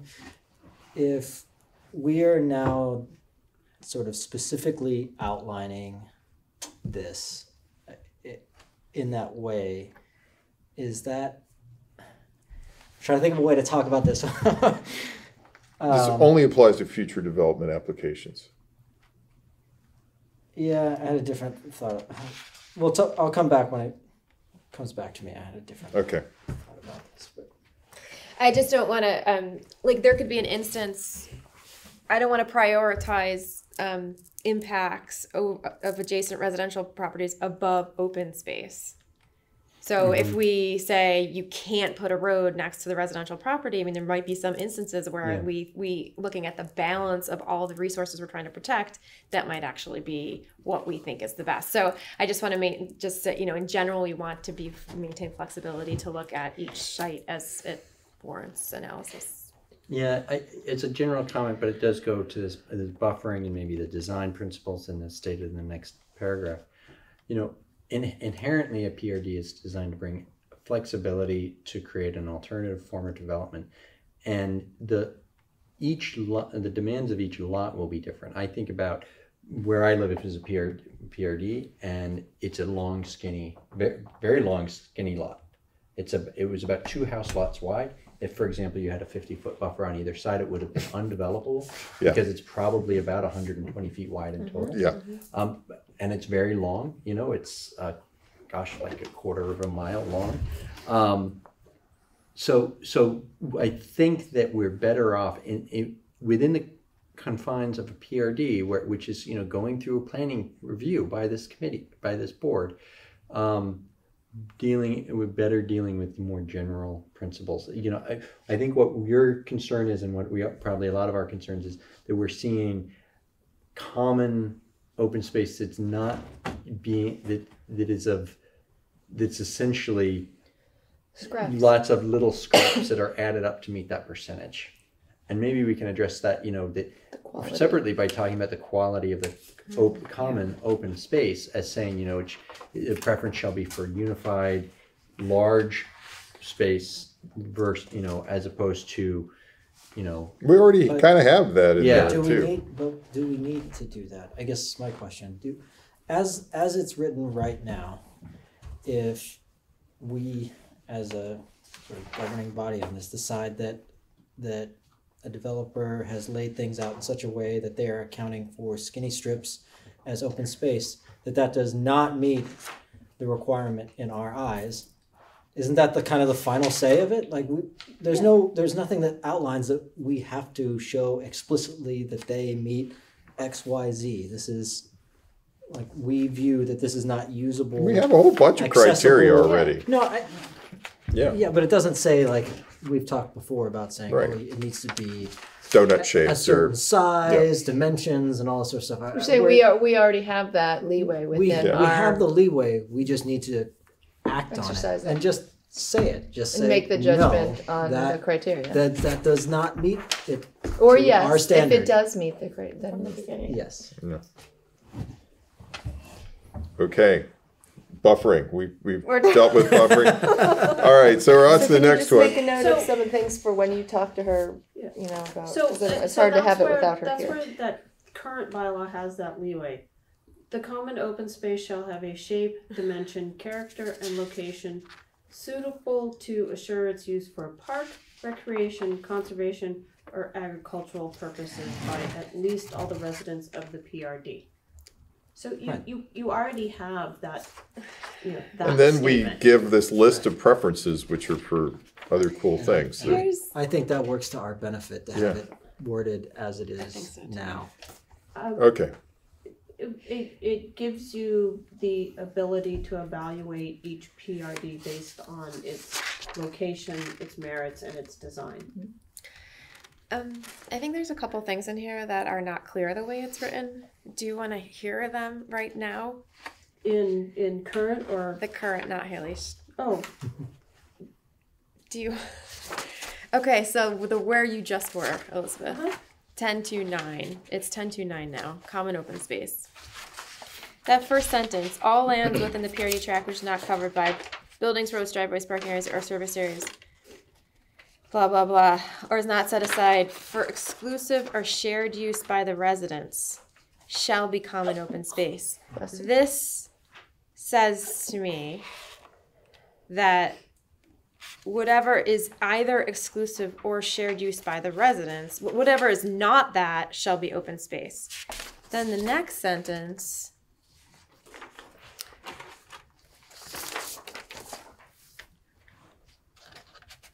No, not the next sentence.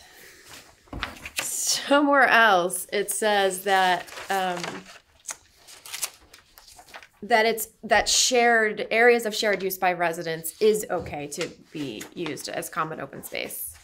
Um, do- um, I can't find it now. I I'll, I'll send it to you as a comment. But there, Okay. that was one thing I was not clear Okay. about is whether areas that were exclusively for shared use by residents is can be count as common open space. Um, the other thing was in where's the the requirement that's like developed versus undeveloped land? It's fifty percent requirement. um, that's in the beginning. Two, 10 to 8 Uh, 50%. Um, do people's yards count as area developed for residential use? I think that we should clarify that too.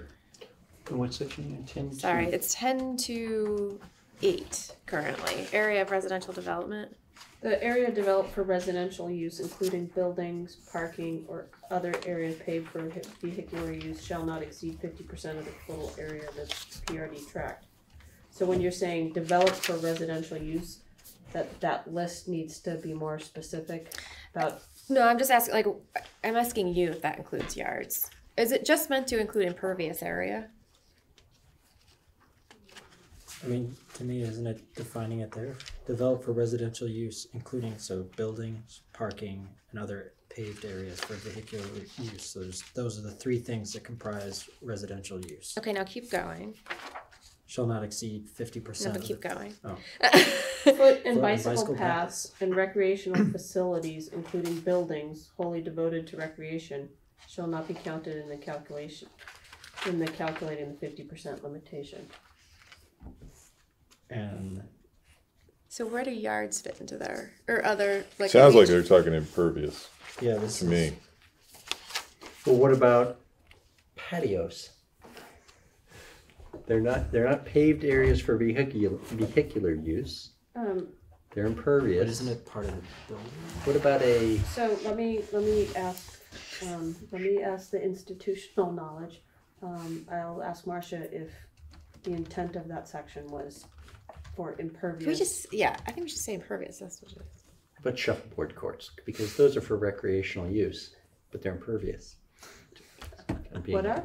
They're- yeah, Shuffleboard. those are exclusively recreational, so they would Yeah, they would not be, count. Same with your um. Yeah. What do you call when you hit the ball? Inside. Okay, we got it. Yeah, Ten to, include- ten to eight is that, um, Current. is Yes. All right, Matt. You say Matt. What what were you That- looking at, Matt? I was But- going on to the Oh, next sorry. section. Sorry, then. sorry, Let's- sorry. So let, if, if Marcia comes back and says, yes, the intent of that was only the impervious areas, um, is, is that something the board wants to consider changing? I just want to know if I it's mean, supposed to include. I thought that we get PRD, sometimes they have no exclusive yards anyway. Yeah, I would- if I were to read this, I would not, I would assume that it was not meant to include yard space, e- Right. exclusive or otherwise. Right. Or leaching fields, or detention basins, Um, yeah, or I, I think it was only supposed to be for Okay. impervious surfaces, but I'll, Yeah. I'll, I will ask. okay. All right, may I go to ten two five six? Unit orientation and design. So this, On Hallie's version, yes, okay. This strikes me as, you know, sort of like the West Concord design guidelines that have been put into here uh, in very compact form, but I, once again am a little uh, uncomfortable um, with this set of requirements.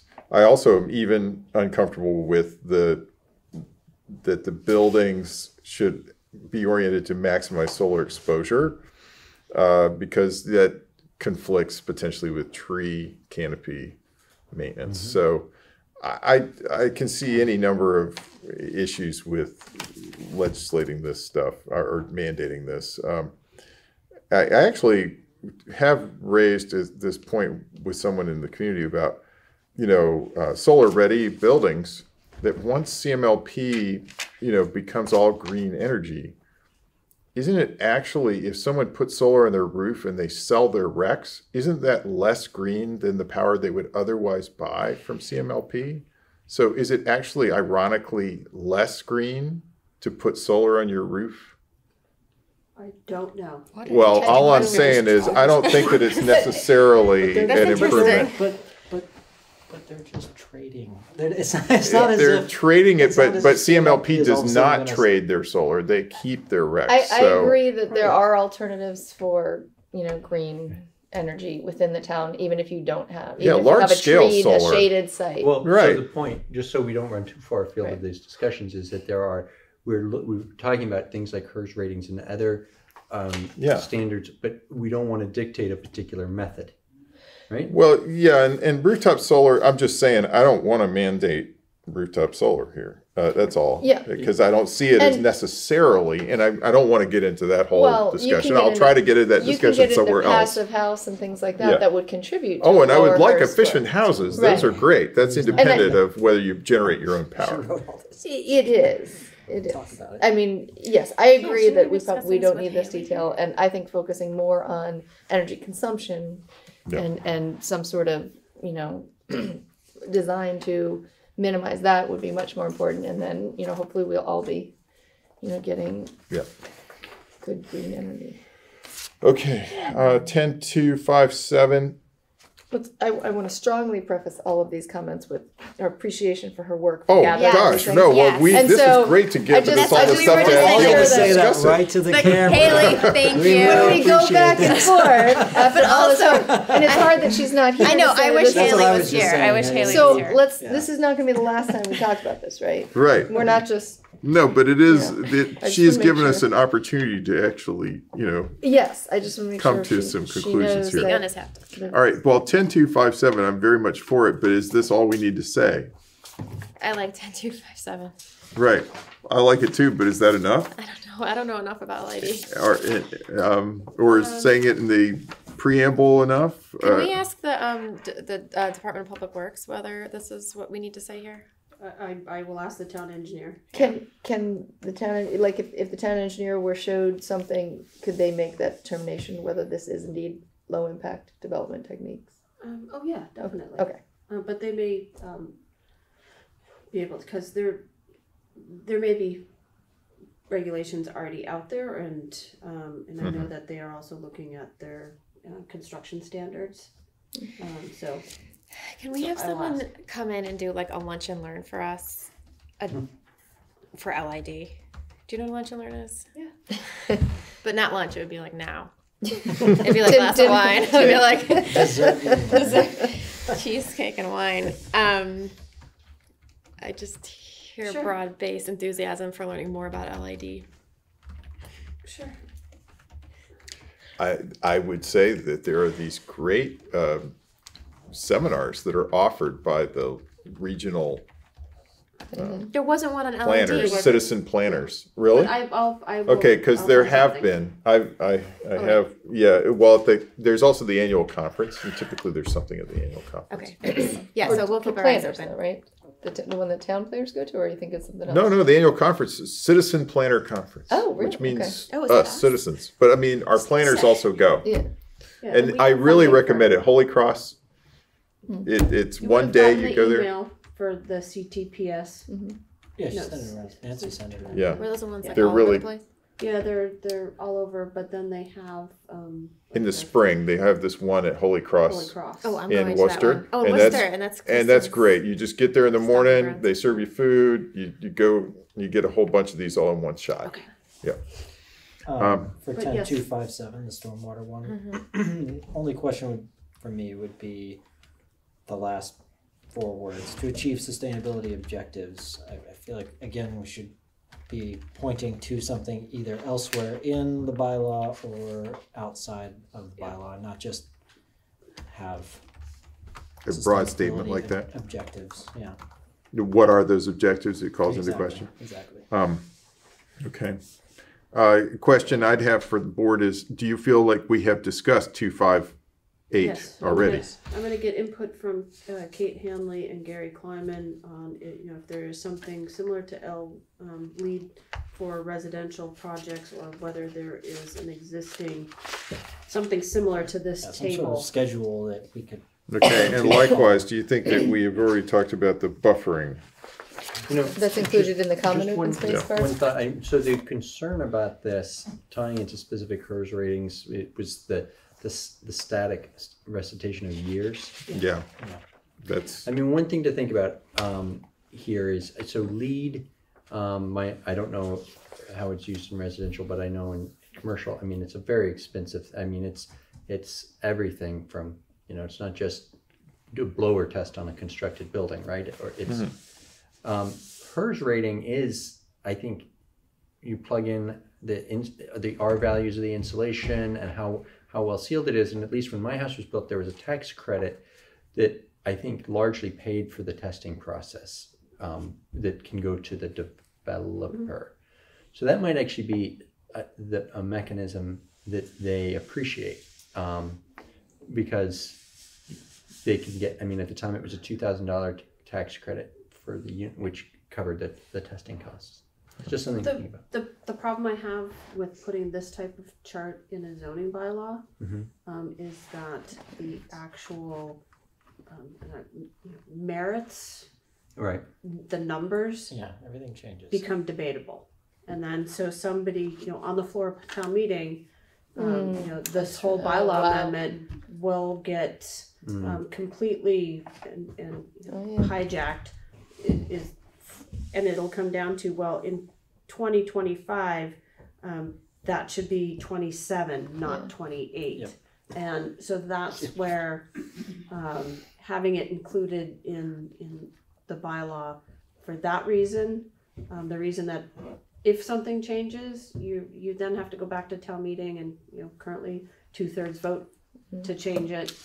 Um, Okay. Fair enough. And So I- I- I think there is a only better 10 way. years from now.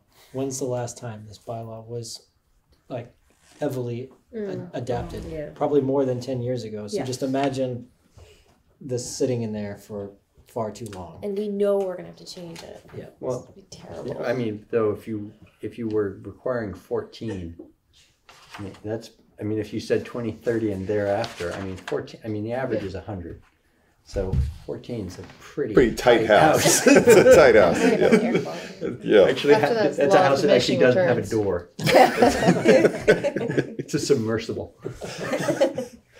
Uh, okay, shall we go on to, um, actually, in the same paragraph, there is the point about the percentage of open space. So I had last time proposed thirty-three percent. She's got thirty-five percent. Do we need to have a discussion Probably at the request of, you know, what, what they heard in the meeting, people were in asking the to be breakout. more. Was more that where the aggressive breakouts going for I mean, people wanted ninety-five percent. Like, With all the trees, just trees over tents. tents? I like that. tree houses. Subterranean living. Uh, I don't know how to set that number to the right place. Okay, so it's currently twenty-five. Thirty-five is. I don't know what the, what the difference. What's the difference between thirty-three and thirty-five? Two percent.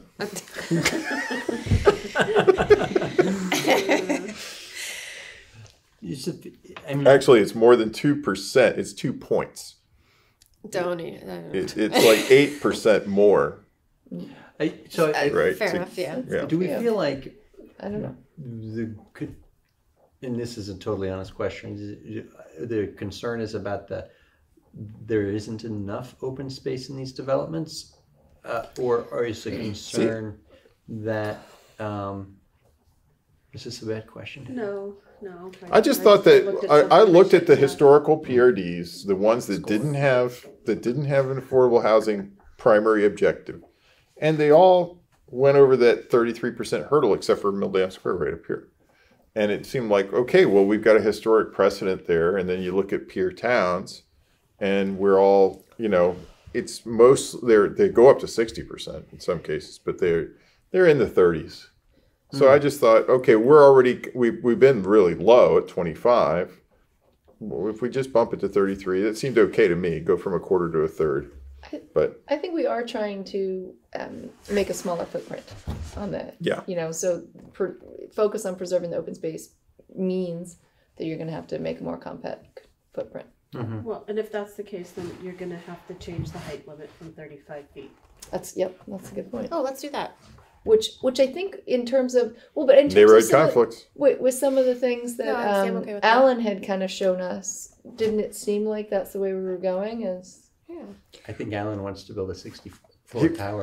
No, well, and actually, I've seen some. I've seen some really attractive would sixty save foot on towers. uh, the open heating for everyone. Oh, I've seen right. in, in Holland. I saw great ones. Right. You get a nice park in the middle. There's a sixty foot tower, and the whole thing looks great. neighborhood character. Okay, so Yeah. overall, we, we think that, because I'm just thinking about how these numbers add up. We've got fifty percent, a max of fifty percent Mm, that's developable, impervious building driveway.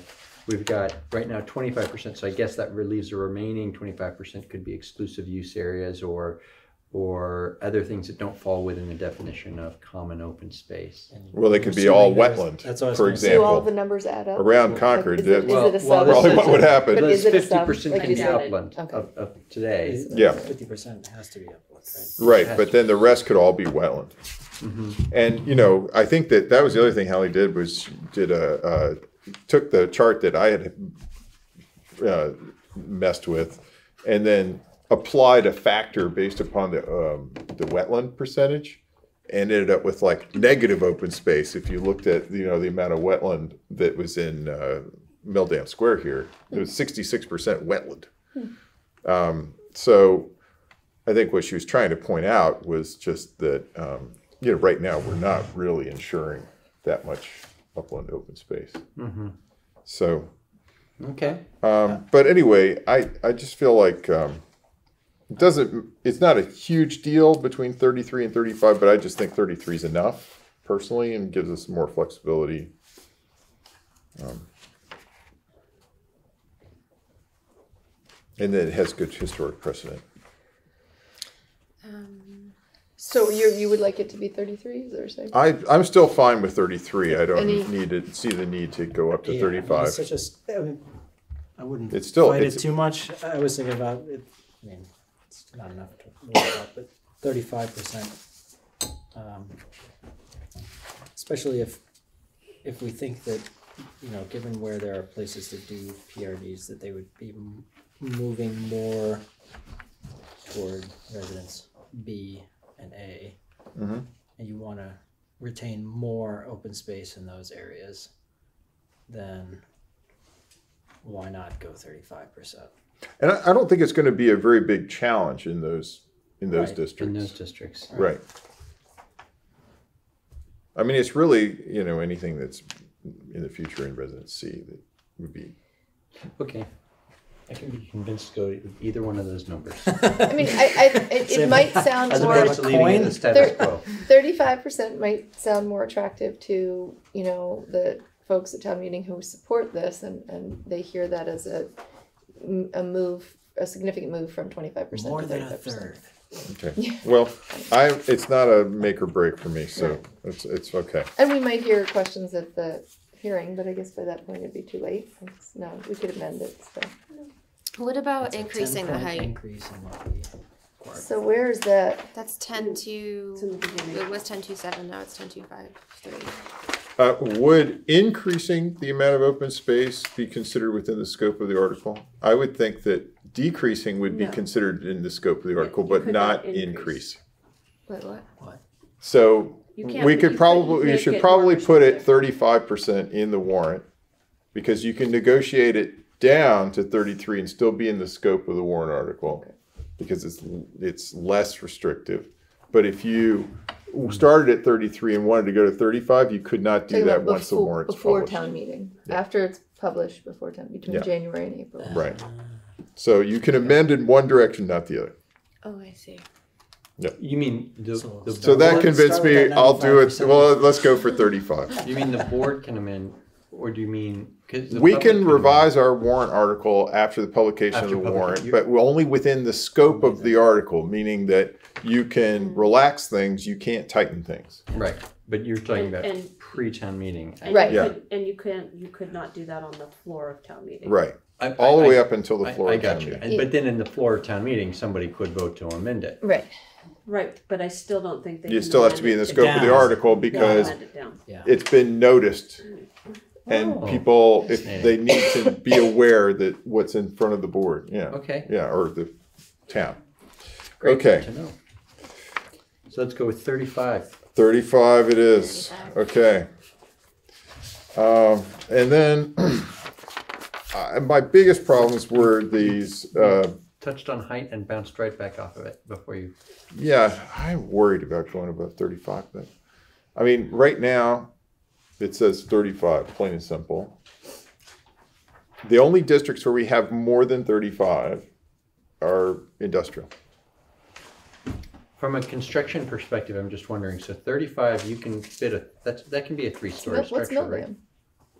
Milldam? Milldam meets thirty-five. And it can have a foot flat height, roof. Oh, I don't, I don't But know. wasn't There's that- no, it But did, wouldn't no it just have mid-peak or anything. Or it didn't have to It can be because of the- 35. I have three people flat asking roof. a question. So, what's the question? How tall is the Milldam Square? I have no idea how I tall said, the did, Mill did it have Square is. to meet a thirty-five foot height requirement? was it an Because of existing its where, structure? I, I don't know. Yeah, I think so. And I think that, again, it's, a flat roof is a pretty big building if it's thirty-five feet. Yeah, and Well- your, your question is three-story building, should, Well, um, what I'm wondering is, is there a number that gets you, uh, uh, makes it logical to add an additional floor? I mean, if, Um, we're not talking about having more height. So I, I have a, Bedroom. I have a suggestion. Um, currently, the problem is, is under the PRD, it says height a maximum of thirty-five feet. There's no waiver provision. So Right. you can include the same language that's currently in the bylaw under height, which is six to Which would 11. give a special permit for, for So you would, relief from height. It would, because it's part of the PRD, you don't it's need a part of the special. PRD, you can just say the planning board may grant relief from the above, um, height requirement. Um, they find that the desired relief may be granted without substantial detriment to the neighborhood. I think that is the right answer. Yes. Okay, Okay. Let's do that. we're in. Cut, paste. Um, so in, in, in that actual section under six to eleven, it does, um, say, um, uh, the literal application of this requirement would be unreasonable because there are no reasonable alternatives available. I, I find that an unrealistic, It's a very high bar. It's a high bar. it, it's an unrealistic standard to, so what is, I mean, You could always make a shorter building. yeah, you know, I mean, so why, why have that statement? So Well, although, last part I mean, is- there was this, the one that, the special permit for the A and R lot on Highland Street that was granted because, you know, they were saying it was like, it was basically a cliff on the back of the, the lot, and so that the, Right, and and they actually said, you know, a reasonable, you know, alternative is if they if they didn't grant the waiver to ten B Highland, yeah, um, that um, it would be this short squat house that was actually uncharacteristic of the neighborhood. Yeah, it yeah. Wouldn't, it wouldn't fit in with the neighborhood right. if they met It'd be a one height. one story flat roof house that then went downhill. Yeah. So the special the Board of Appeals did grant a special permit waiver to the height to allow. So right now, I mean, by the way, we don't want to weaken that bar in m- most residential districts. You want it to be a tough, tough thing to Yeah, it's, go over. Um, but in the PRD, we've got this sort of more comprehensive review that we're doing, and I think in the in this you know mix, we could have this. Okay, You're almost done. we're almost done. Well, okay, so density. So density bonuses. The she's talking about um, first of all, perhaps getting giving bonuses for setting aside more open space. And I would say historically, we have not had to do that. Okay, the residence A or double A, you we've been seeing 60% open space more you know um, so i don't think that we necessarily have to offer that up as a bonus. And then for housing diversity the suggestion was to you only get um, one additional market rate unit for every two affordable units. Is that what it says? I think that's what she's saying. And there would definitely never be an affordable unit built if that were the ratio because it, it, it takes Where's the language you're seeing? in 10 to 8 2 it says for every two units of dwelling re- restricted in perpetuity or every one unit for low income one market rate dwelling unit may be added and it, it basically costs more than one unit of additional to recover the cost of the affordable in my experience You know, she, this is language from the town of Hudson. I'm curious to know why. it's probably cheaper in added it. hudson Yeah, would definitely be cheaper. you know here it's 500k gap between I'm, it's just curious that that could make that much of a difference in terms of because that's pretty bold. Uh, Well, I can contact the town planners there and see if anybody Well, I actually mean- even use it. yeah, Yeah. just if you think that it's useful information for us to have for reference, because yeah i just don't see it I mean, it, Working. it's just you know. aff- So I, what Marcia mentioned, um, you know, at, at one of the meetings that she was in for you was kind of a while back. There was this trade off. Um, between you know, well, we, we made some changes to the PRD requirements because we wanted more affordable, and then we kind of lost. I don't know if it was open space or whatever, you know. So with the trade off, Nobody so used it. yeah, so you know, how important is affordable housing? Talking going back to what Elizabeth said about the four things, you know, which are most important, and are they definitely rising to the top? yeah i mean right now we do have a process i mean it hasn't generated a lot of affordable units but we do have a process for granting bonus density i mean even then developers even with the terms we have we're not getting many I know, and density bonuses I feel like we should be i know but it's not working that because way because affordable, i mean affordable tightening it up is certainly not going to help affordable units should be in the same area where market rate units are. I mean, that's Yeah, kind of what I, we that's the and- principle right? for the town. Yeah. Um, so I, I disagree with making those changes to that section. Is there anything we could recommend looking into that would encourage? Um, I, I can't remember if, if affordable housing is mentioned anywhere else. I might only be in conjunction with density, right? Yes. Okay, so this is the only area we have to. To really Encourage incent this. uh, Yeah. the development. So it seems like we want to put a little star here that we want to come back and. Well, uh, so the conversation kind of needs to focus, are, is the PRD to protect open space or is it to create affordable housing? Yes. I mean, that's always been the thing with the PRD. But I think it's It's two in one. So, but here's the problem. So think of four thirty Old Bedford. That Um, ended up being open space. But, you know, that he started with, Stephanie. You started with affordability for the bonus units, but then it, Right. it really got in the way of one open unit. space. And, and so when, when it came down from, from that, from, you know, so eight, one unit had to be affordable. Seven, one unit had to be affordable. Six, one unit had to be affordable. No, six, it wasn't doable, he said. Well, But that, but I'm s- currently, the, Right. the bylaw, if, In Right. terms His- of what the his- bonus. His basic density was four. Right. So if he went to five, one unit had to be affordable. And Right. so there there there everybody has to understand there there is a real market cost, you know, Two doing it. benefit analysis, you know, Yeah. that you know, well, five and one affordable, it you know, n- n- no, to do an do an affordable, especially in this community, you you probably are talking about one affordable, you get two additional market rate Yeah, units, I agree. I mean, or that's or why do it? So, um, I don't know what that that calculation is, but well, and we don't specify it in the PRD now. We say that you can get bonus density up to double based mm-hmm. upon offering affordable housing. And we don't say do how it- many you have to do. Right, but So- to be able to do a bonus density, to have affordable housing, you're talking about having to utilize More more of the area of the lot, you know, un, un, unless you're going up or you're going into, a, you know, a, a, a four unit single, you know, a four unit building.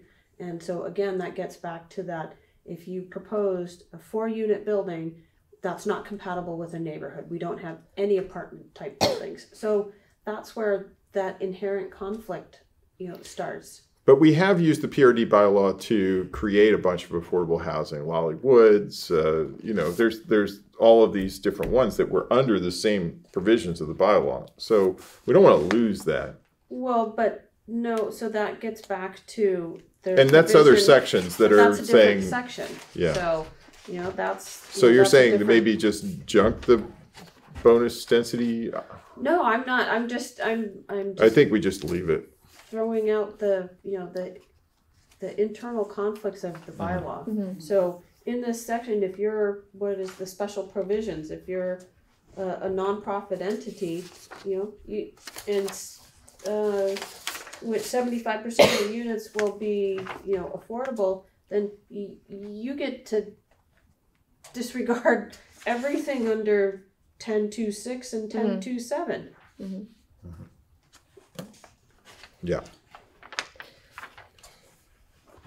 Now, I do like, you know, right above that, so in talking about what, what we're incenting here, the proposal in ten two eight three is um, a- an increase of basic density if the units have all electric appliances. Um, you know, or whatever we wanna say there. Um, I, I, I would like to make, uh, incentivize developers to build more energy efficient things and I'd let them build more of them because I guess my concern overall is let's not keep building very large houses, which I think are going to be very large consumers, and you can tell me how tight they are, but still, it's just um, and so if you can show me that you're not going to have a large energy consumer and that it's not going to be a large fossil fuel consumer, then I would like that to be rewarded. I would like people to uh, developers to invest in that and be rewarded. And if there's more of those, I would feel better than if there were fewer less efficient. Well, that's the, that's the carrot approach, approach, but there's also the sort of more global stick approach, which is that I've heard that there's a citizen petition article being proposed for town meeting next year that would just outlaw the creation of any fossil fuel infrastructure for any new development. So it wouldn't be, you know, you wouldn't need this provision because there it wouldn't even be a possibility. Well, Well, even, even if we uh, made it more like you know efficient, if you can if you can demonstrate you know what the impact, uh, what the you So know that- Oh, and that energy would be going impact back is- to- It hasn't passed yet, so. No, Well, it's and, true. And, and I'm not, and, and I'm not sure that's. I mean, as long a- as that's a legally attainable, um, you know, as far as They claim there's already a couple towns that have done it. So Yeah, but they haven't been implemented.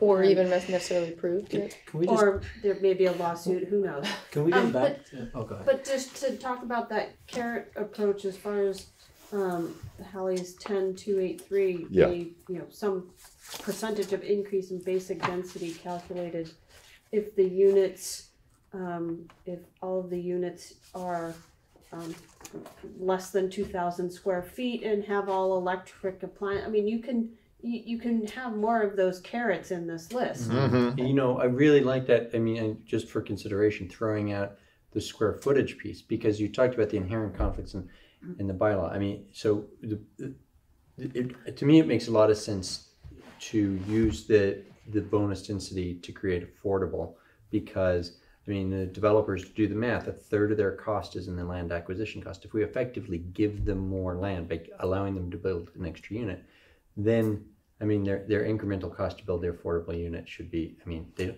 You could almost, I think, do one for one. I mean, a developer would tell you you need ten to one, but it's probably one to two to one but then you have the issue that you run up against like the 50% of developable you know uh, you develop it but if you're saying you get bonus density if it's under a certain size then we hit the affordable from a couple points first of all if you're say you're building 2000 square foot houses They're going to are be more probably affordable.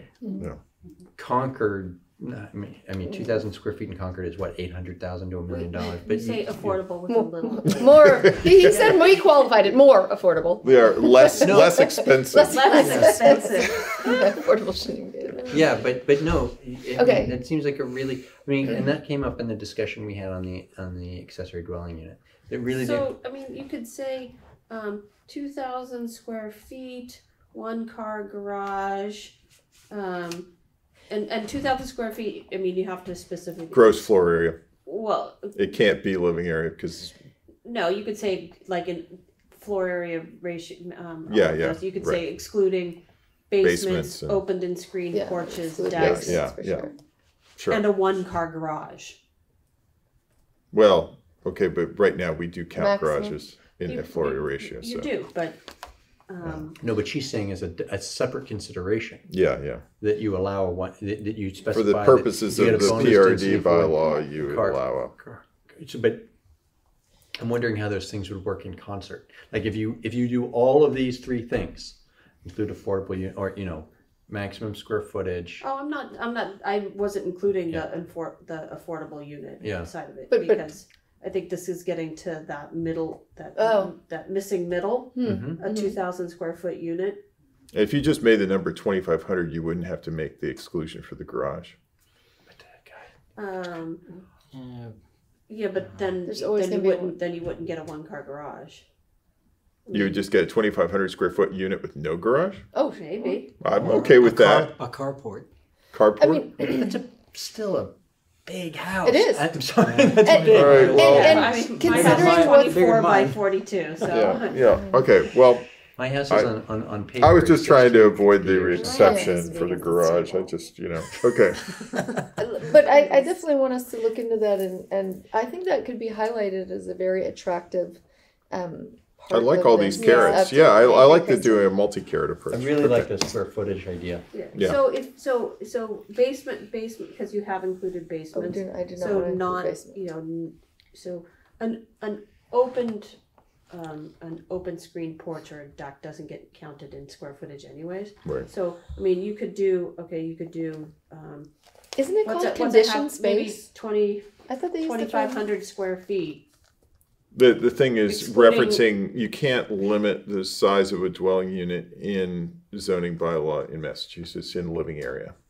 Okay. Yeah, that's, it's just spelled out right. in- Yeah. You, you, Yeah. you can't, you, no, you can't restrict the interior living space Space of of- a house saying you can only have a kitchen, a Mhm. family room, a bedroom, one bathroom, Oh, two, you okay. can't restrict it in that manner. Okay. But uh, the statement's pretty much Oh. a blanket statement though. But you could say twenty-five, you know, limit twenty-five hundred square feet with, um, excluding a one-car garage. With, with only a, you know, I'm not gonna wordsmith it now, but something where it says, you can have twenty-five hundred squ- gross floor area. Um, which, uh, and, you know, excludes a one-car garage, and it only has a one-car garage or And something, I don't does know. gross, gross floor area include um, Basement. a basement? Yeah, You can, yeah, you can Right. So they couldn't Yeah. say that's not going to be a finished basement when we know it is. So. Well, if it, if the basement ha- doesn't have a ceiling height of greater than Seven, six, eight, six, Yeah. eight. then Um, it wouldn't be. So I I- that so that's just something to think Okay. about, and um, I can try and wordsmith Yeah. something. I, I would, though I, I would keep it under twenty-five hundred. I would too. I would want to see a smaller number. Twenty well, 20, 2500, um, I would say and it, would- that would include a, the basement and a garage, but you would specifically say you know, twenty-five hundred square feet, a Includes one-car, this. a one-car garage, Oh, so the twenty-five hundred includes the garage space if you do it that way? and the But you- basement. but In the basement, okay. That's starting to get, that means your actual living space is probably in the mid uh, teens. I mean, like fifteen, sixteen hundred square feet, which is, would seem cavernous to our parents, but are still um, modest by today's standards. I like it. So, but I'm not sure how you incorporate the affordable component. Well, and I think to your point, um, maybe we use other, you know, we're pursuing other ways of affordable housing, and this, you know, this Other- incentivizes yeah. Other metrics of, of Well, just like other aspects with the accessory dwelling units and things like that, so we don't have to try to do everything with this PRD bylaw. So what do we cu- currently, ha- um, the way this has been edited, I'm a little confused. What, where is our current bonus density section? I think, was it been cut out and replaced or? ten, it, uh, currently it's under ten to, uh, yeah, ten to three, What is now the ten two three? Yeah, it is ten. there you go. It's talking about the diversity of structures. No, the old. So the 2, 3. maximum. Right, this is the under old ten two Ten three. to two, the maximum permissible density within a PRD shall not exceed Ah, two times the total number of dwelling units obtained through the a- application of ten two two one, which Yeah. is basic density. Mm-hmm.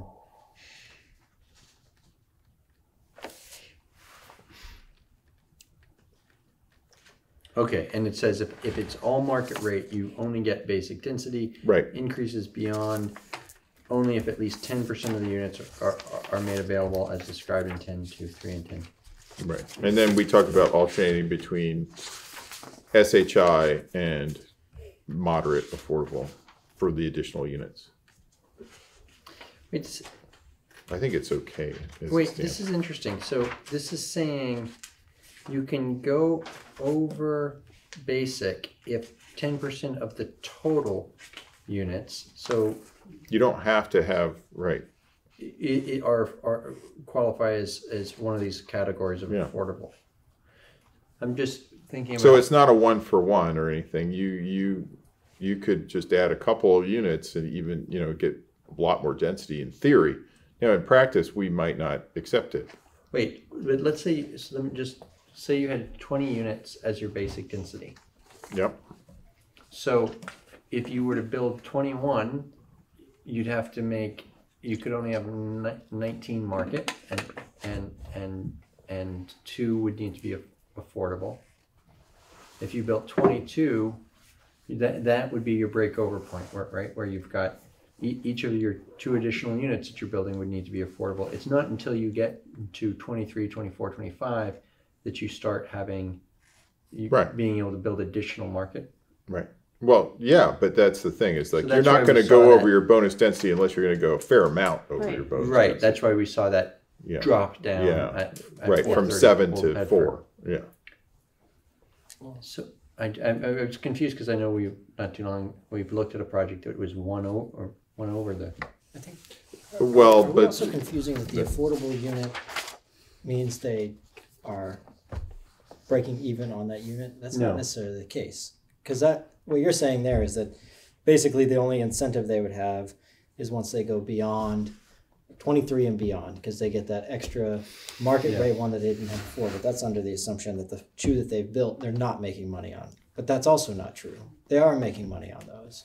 We're allowing them to make less, incrementally less for those two units, Quite- but quite- still making money. Yeah, quite a quite a bit less. I mean, probably. But- I mean, this, this No, we're, I'm, yeah, we're, we're I'm- talking the affordable unit at, um, Black Birch two, two hundred and twelve thousand dollars. Oh wow. Okay.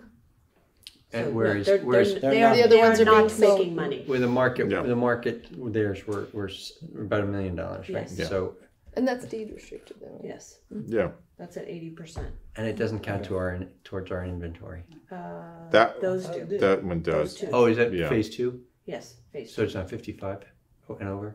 Oh, Wasn't that the it is. problem? Oh, maybe that might be, the well, it's all fifty-five and over, so that might be. That's the why he problem. was gonna give the town a million dollars instead or something. Right, cause these don't count, but they are They deed still restricted. But they're, and they're deed restricted at the state level. Okay, Sorry. It's okay. so, uh, I think we've given you some input. I'll try. And I think we had a really extensive discussion of the pier, thorough, thorough discussion. So I We think that to. we've come to pretty good consensus overall. We'll see where we land when Good this luck, comes back. Elizabeth. But I just want uh, So to let me, so let me, let me, oh, go ahead. well, just to reiterate, I really like the idea of tying bonus density to square footage because it really kind of goes to exactly what we're doing with the What we're PRD, trying to which is do. concentrating the development, but al- and allowing you know a creative model for it. And it would be a way to do it where It'd be a nice without way to do it. sacrificing open space. Right.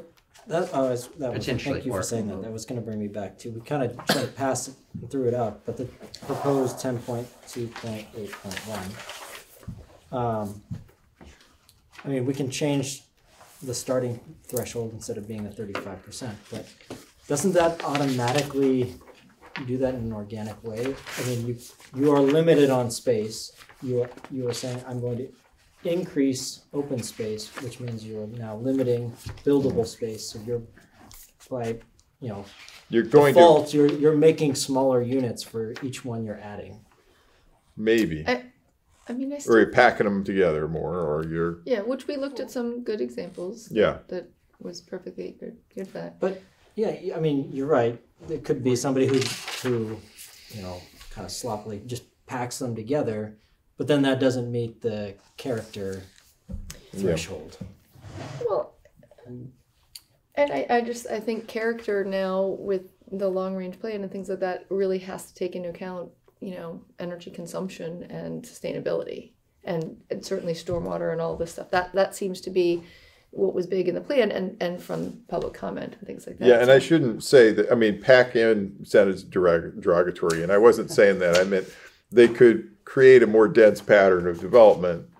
Um, I think what we also, though, want is right sizing the units to future demographic requirements, which we're having trouble kind of encouraging. And the, the That would be- proposal does that. That would be This- another, another, another carrot, um, is, um, what's the term in the building?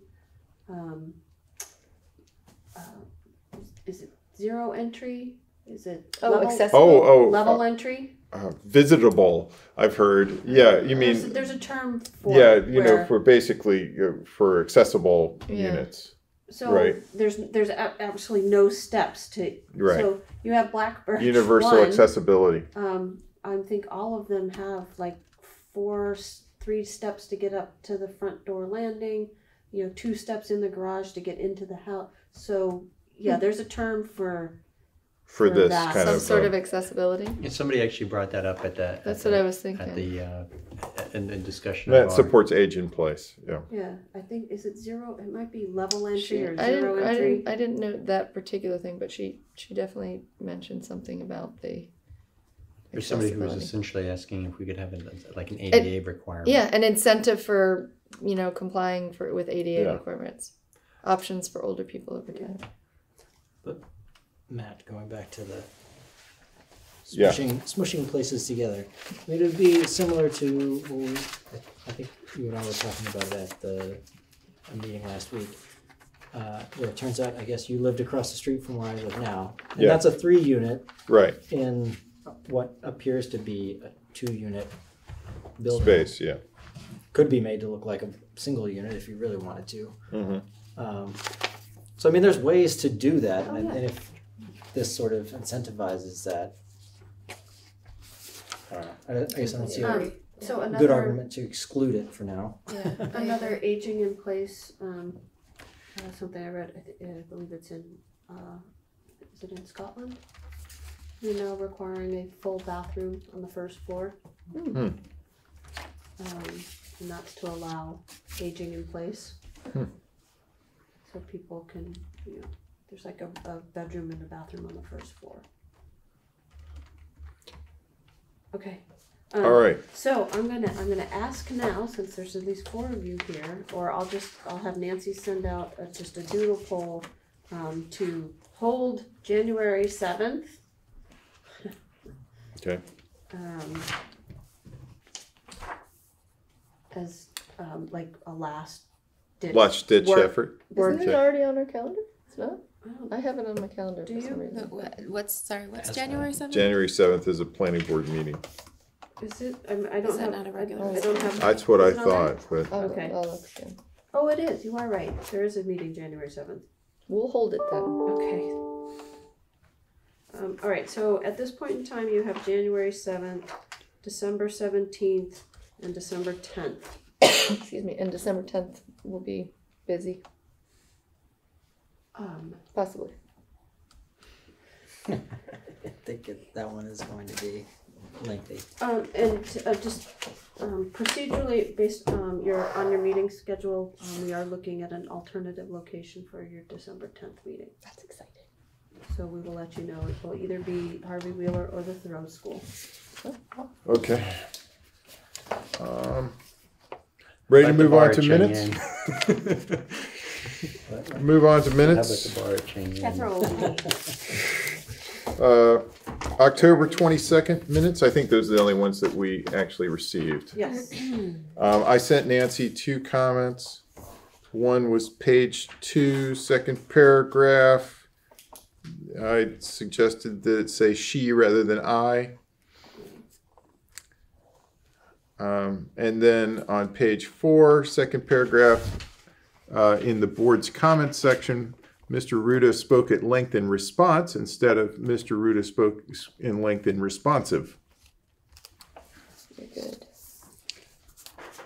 Not very consequential, but Accuracy is important. Any other comments on the minutes? Did I get a motion?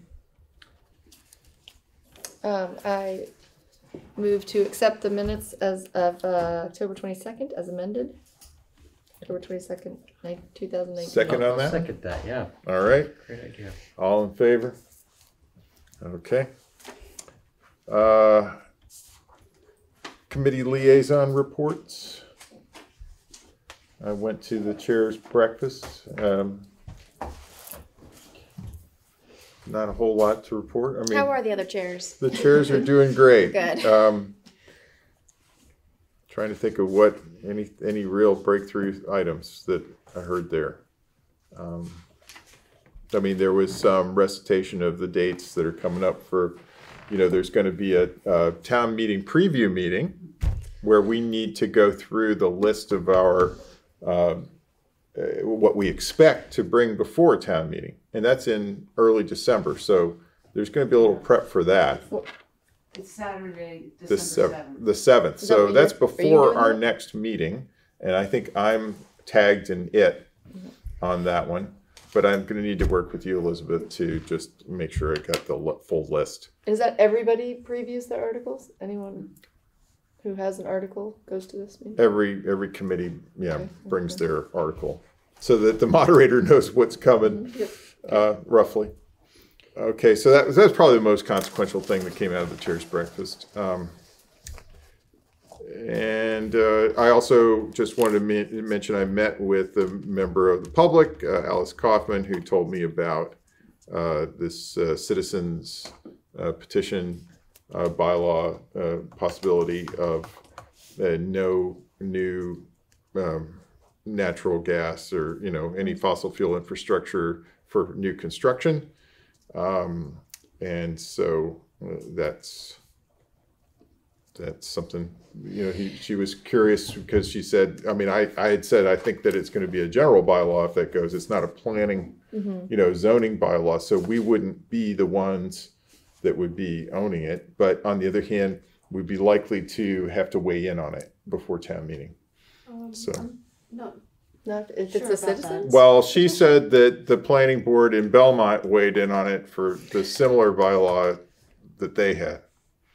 Cause I, I raised that question as well. I'm- It, it's, it's, it's a sustainability and, I mean, it's not a, it's not a zoning land use general bylaw. Uh-huh.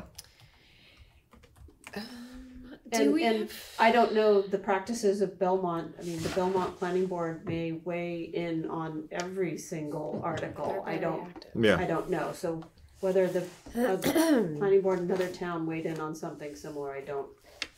I, I would have to know more about that Okay. town. Well, we may, I mean, if, if that came forward, we might decide that we want to speak in, in favor or against something like that, just as, you know, stand up and test to it. Be- And the only reason I say that is because we have been trying to weave more, um, uh, you know, sustainability elements through ours, so we could, could talk to whether that would be complementary to our zoning. I think the board would have to have a discussion once it's written. Okay. The, the other, she also said that there are two other bylaws that um, might come forward. One is uh, that would require seller disclosure of the energy efficiency of a unit at the time of sale. So basically, you'd have to tell the buyer what your HERS rating was, I think. And then the third, which is still tentative due to possible Okay, conflict with the stretch code, would mandate a maximum HERS rating for all new developments. So. Is, is this coming from the climate? uh, Well, and that was a question that I asked back uh, afterwards, which was why aren't these coming from our town committees? Um, I haven't gotten a reply. okay, Yeah, I mean, I, I just, I mean, we have uh, multiple town committees that are on these issues. So, right, with. the- and we have a town sustainability director. Right, You know, make sure this is a working together. citizens initiative. So, Um, is there when the warrant comes together? Does an attorney look through it just to see Yes. what the illegality of everything is? We is, just got one of those today on ours. Town counsel Yeah. reviews everything. Yeah. including like the citizen, whatever's. Yes, Oh, really? yes. Yeah. And so if it's if they see a problem, do, does that just get noted in the, the warrant, or does, does somebody actually take it out?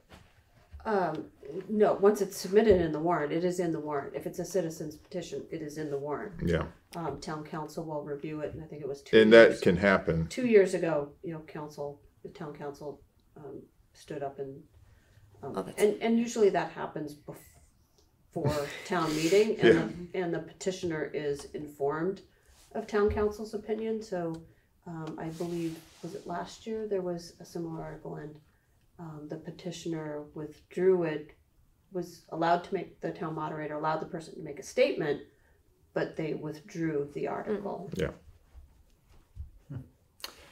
Um, just briefly, it's it's CPC busy season. This is when we have our sometimes weekly meetings because we have all our applications in and we're deliberating. Um, it's kind of an exciting discussion because we're oversubscribed for requests by about eight hundred thousand dollars. So we have to make real. Um, we Real can't- cuts. We can't just give everybody a five percent haircut. We have to probably exclude some, you know, some big projects who are balancing the direction of the select board who, who provides us a priority list and, and other boards that weigh in. Um, we are also, um, we also have an, an interesting issue that we've had town counsel weigh in on, um, on funding for uh, buildings that are owned by religious organizations and, and putting funding to that and rec- you know recent Massachusetts case law. So it's been an interesting committee to be on fun. this, this round. If anybody has questions about the projects, of which ones are in the uh, in the running, it's a little premature. We've sort of identified the ones that we think are safe bets, which are things like the contribution we make to the um, the regional housing services, you know, it's, it's a small portion that has a big, big return. I- I- For example, we've got a, we've got something back like two hundred thousand dollars in grant money through that office, and we make about a twenty thousand dollar investment per year, so. Um, uh, there's a meeting next week where we will probably get much closer to a definitive list and.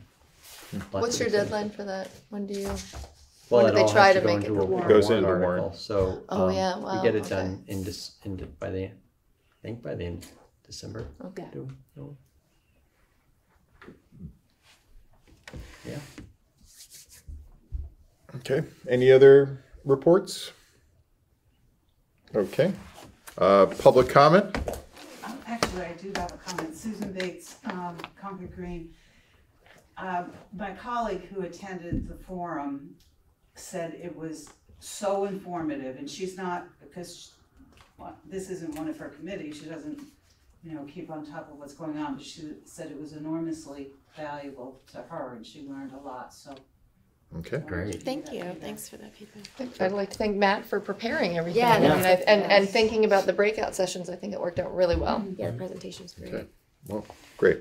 All right. Well, thanks everyone, and we're ready to adjourn. And I happy have one thing, I have Thanksgiving. one thing. Oh, oh, oh, oh, oh. Um, is it possible, I, based on the rules for the board, for us to have a like Holiday party? together, like at a a restaurant or something so like that, and it not nice. be You like can have a holiday party. Yeah. Town clerk has already provided, you know, Funds? I like where you went with that. has, has already provided uh, an opinion, which you know comes from the attorney general. Oh, Yeah. Have a holiday party. You can have you you Can just have fun. Can't talk about you can Sure. talk about Everything else. you can talk about uh, the impeachment, impeachment, hearings. yay. You can talk about uh, your you know your Christmas vacation. Um, but you um, but you can't have a holiday party. Yes. I make a motion to nominate Nate as the head of the committee for holiday. Picking a place ex- and a date. I brought it. I brought it up for that purpose. So yes, I will. I will organize that. Okay, great. Um, and uh, yeah, the actually the West Concord Advisory Committee does have one. Oh, uh, Can we crash Really there? You could crash it. You could crash it. It's going to be at. Um, I was just trying to get the date here. No, no, it's across the street at um, the, the what was it Saltbox Kitchen. Wood fire. They've got a table that has been reserved. Um, just- basically, just stand, stand up around the them. table. Yeah, It's yeah, exactly. Large table. Yeah, exactly. We just take over that table. It's it's happened in past years already. So uh, anyway, uh, there we are. And what's the date? It's not here. Are they mad at me because I didn't? I want to rezone instead of giving them the grocery store. That you, you can't talk about that at that party. Okay. Um, all right. I I can circulate the date. I'm sure for the West Concord Advisory Committee, but that that might be an option. Wait, I don't understand. I'm not on that committee. They're a subcommittee of ours, so we are fully in our rights to crash their party. We're, we're like a circuit judge. we could just show up and, yeah, we're circuit judges. Yeah. All right. Or if we want to have our own venue, we could, sure, if we're going to be exclusive about it. Okay. All right. Okay. Thanks. Cheers, everyone.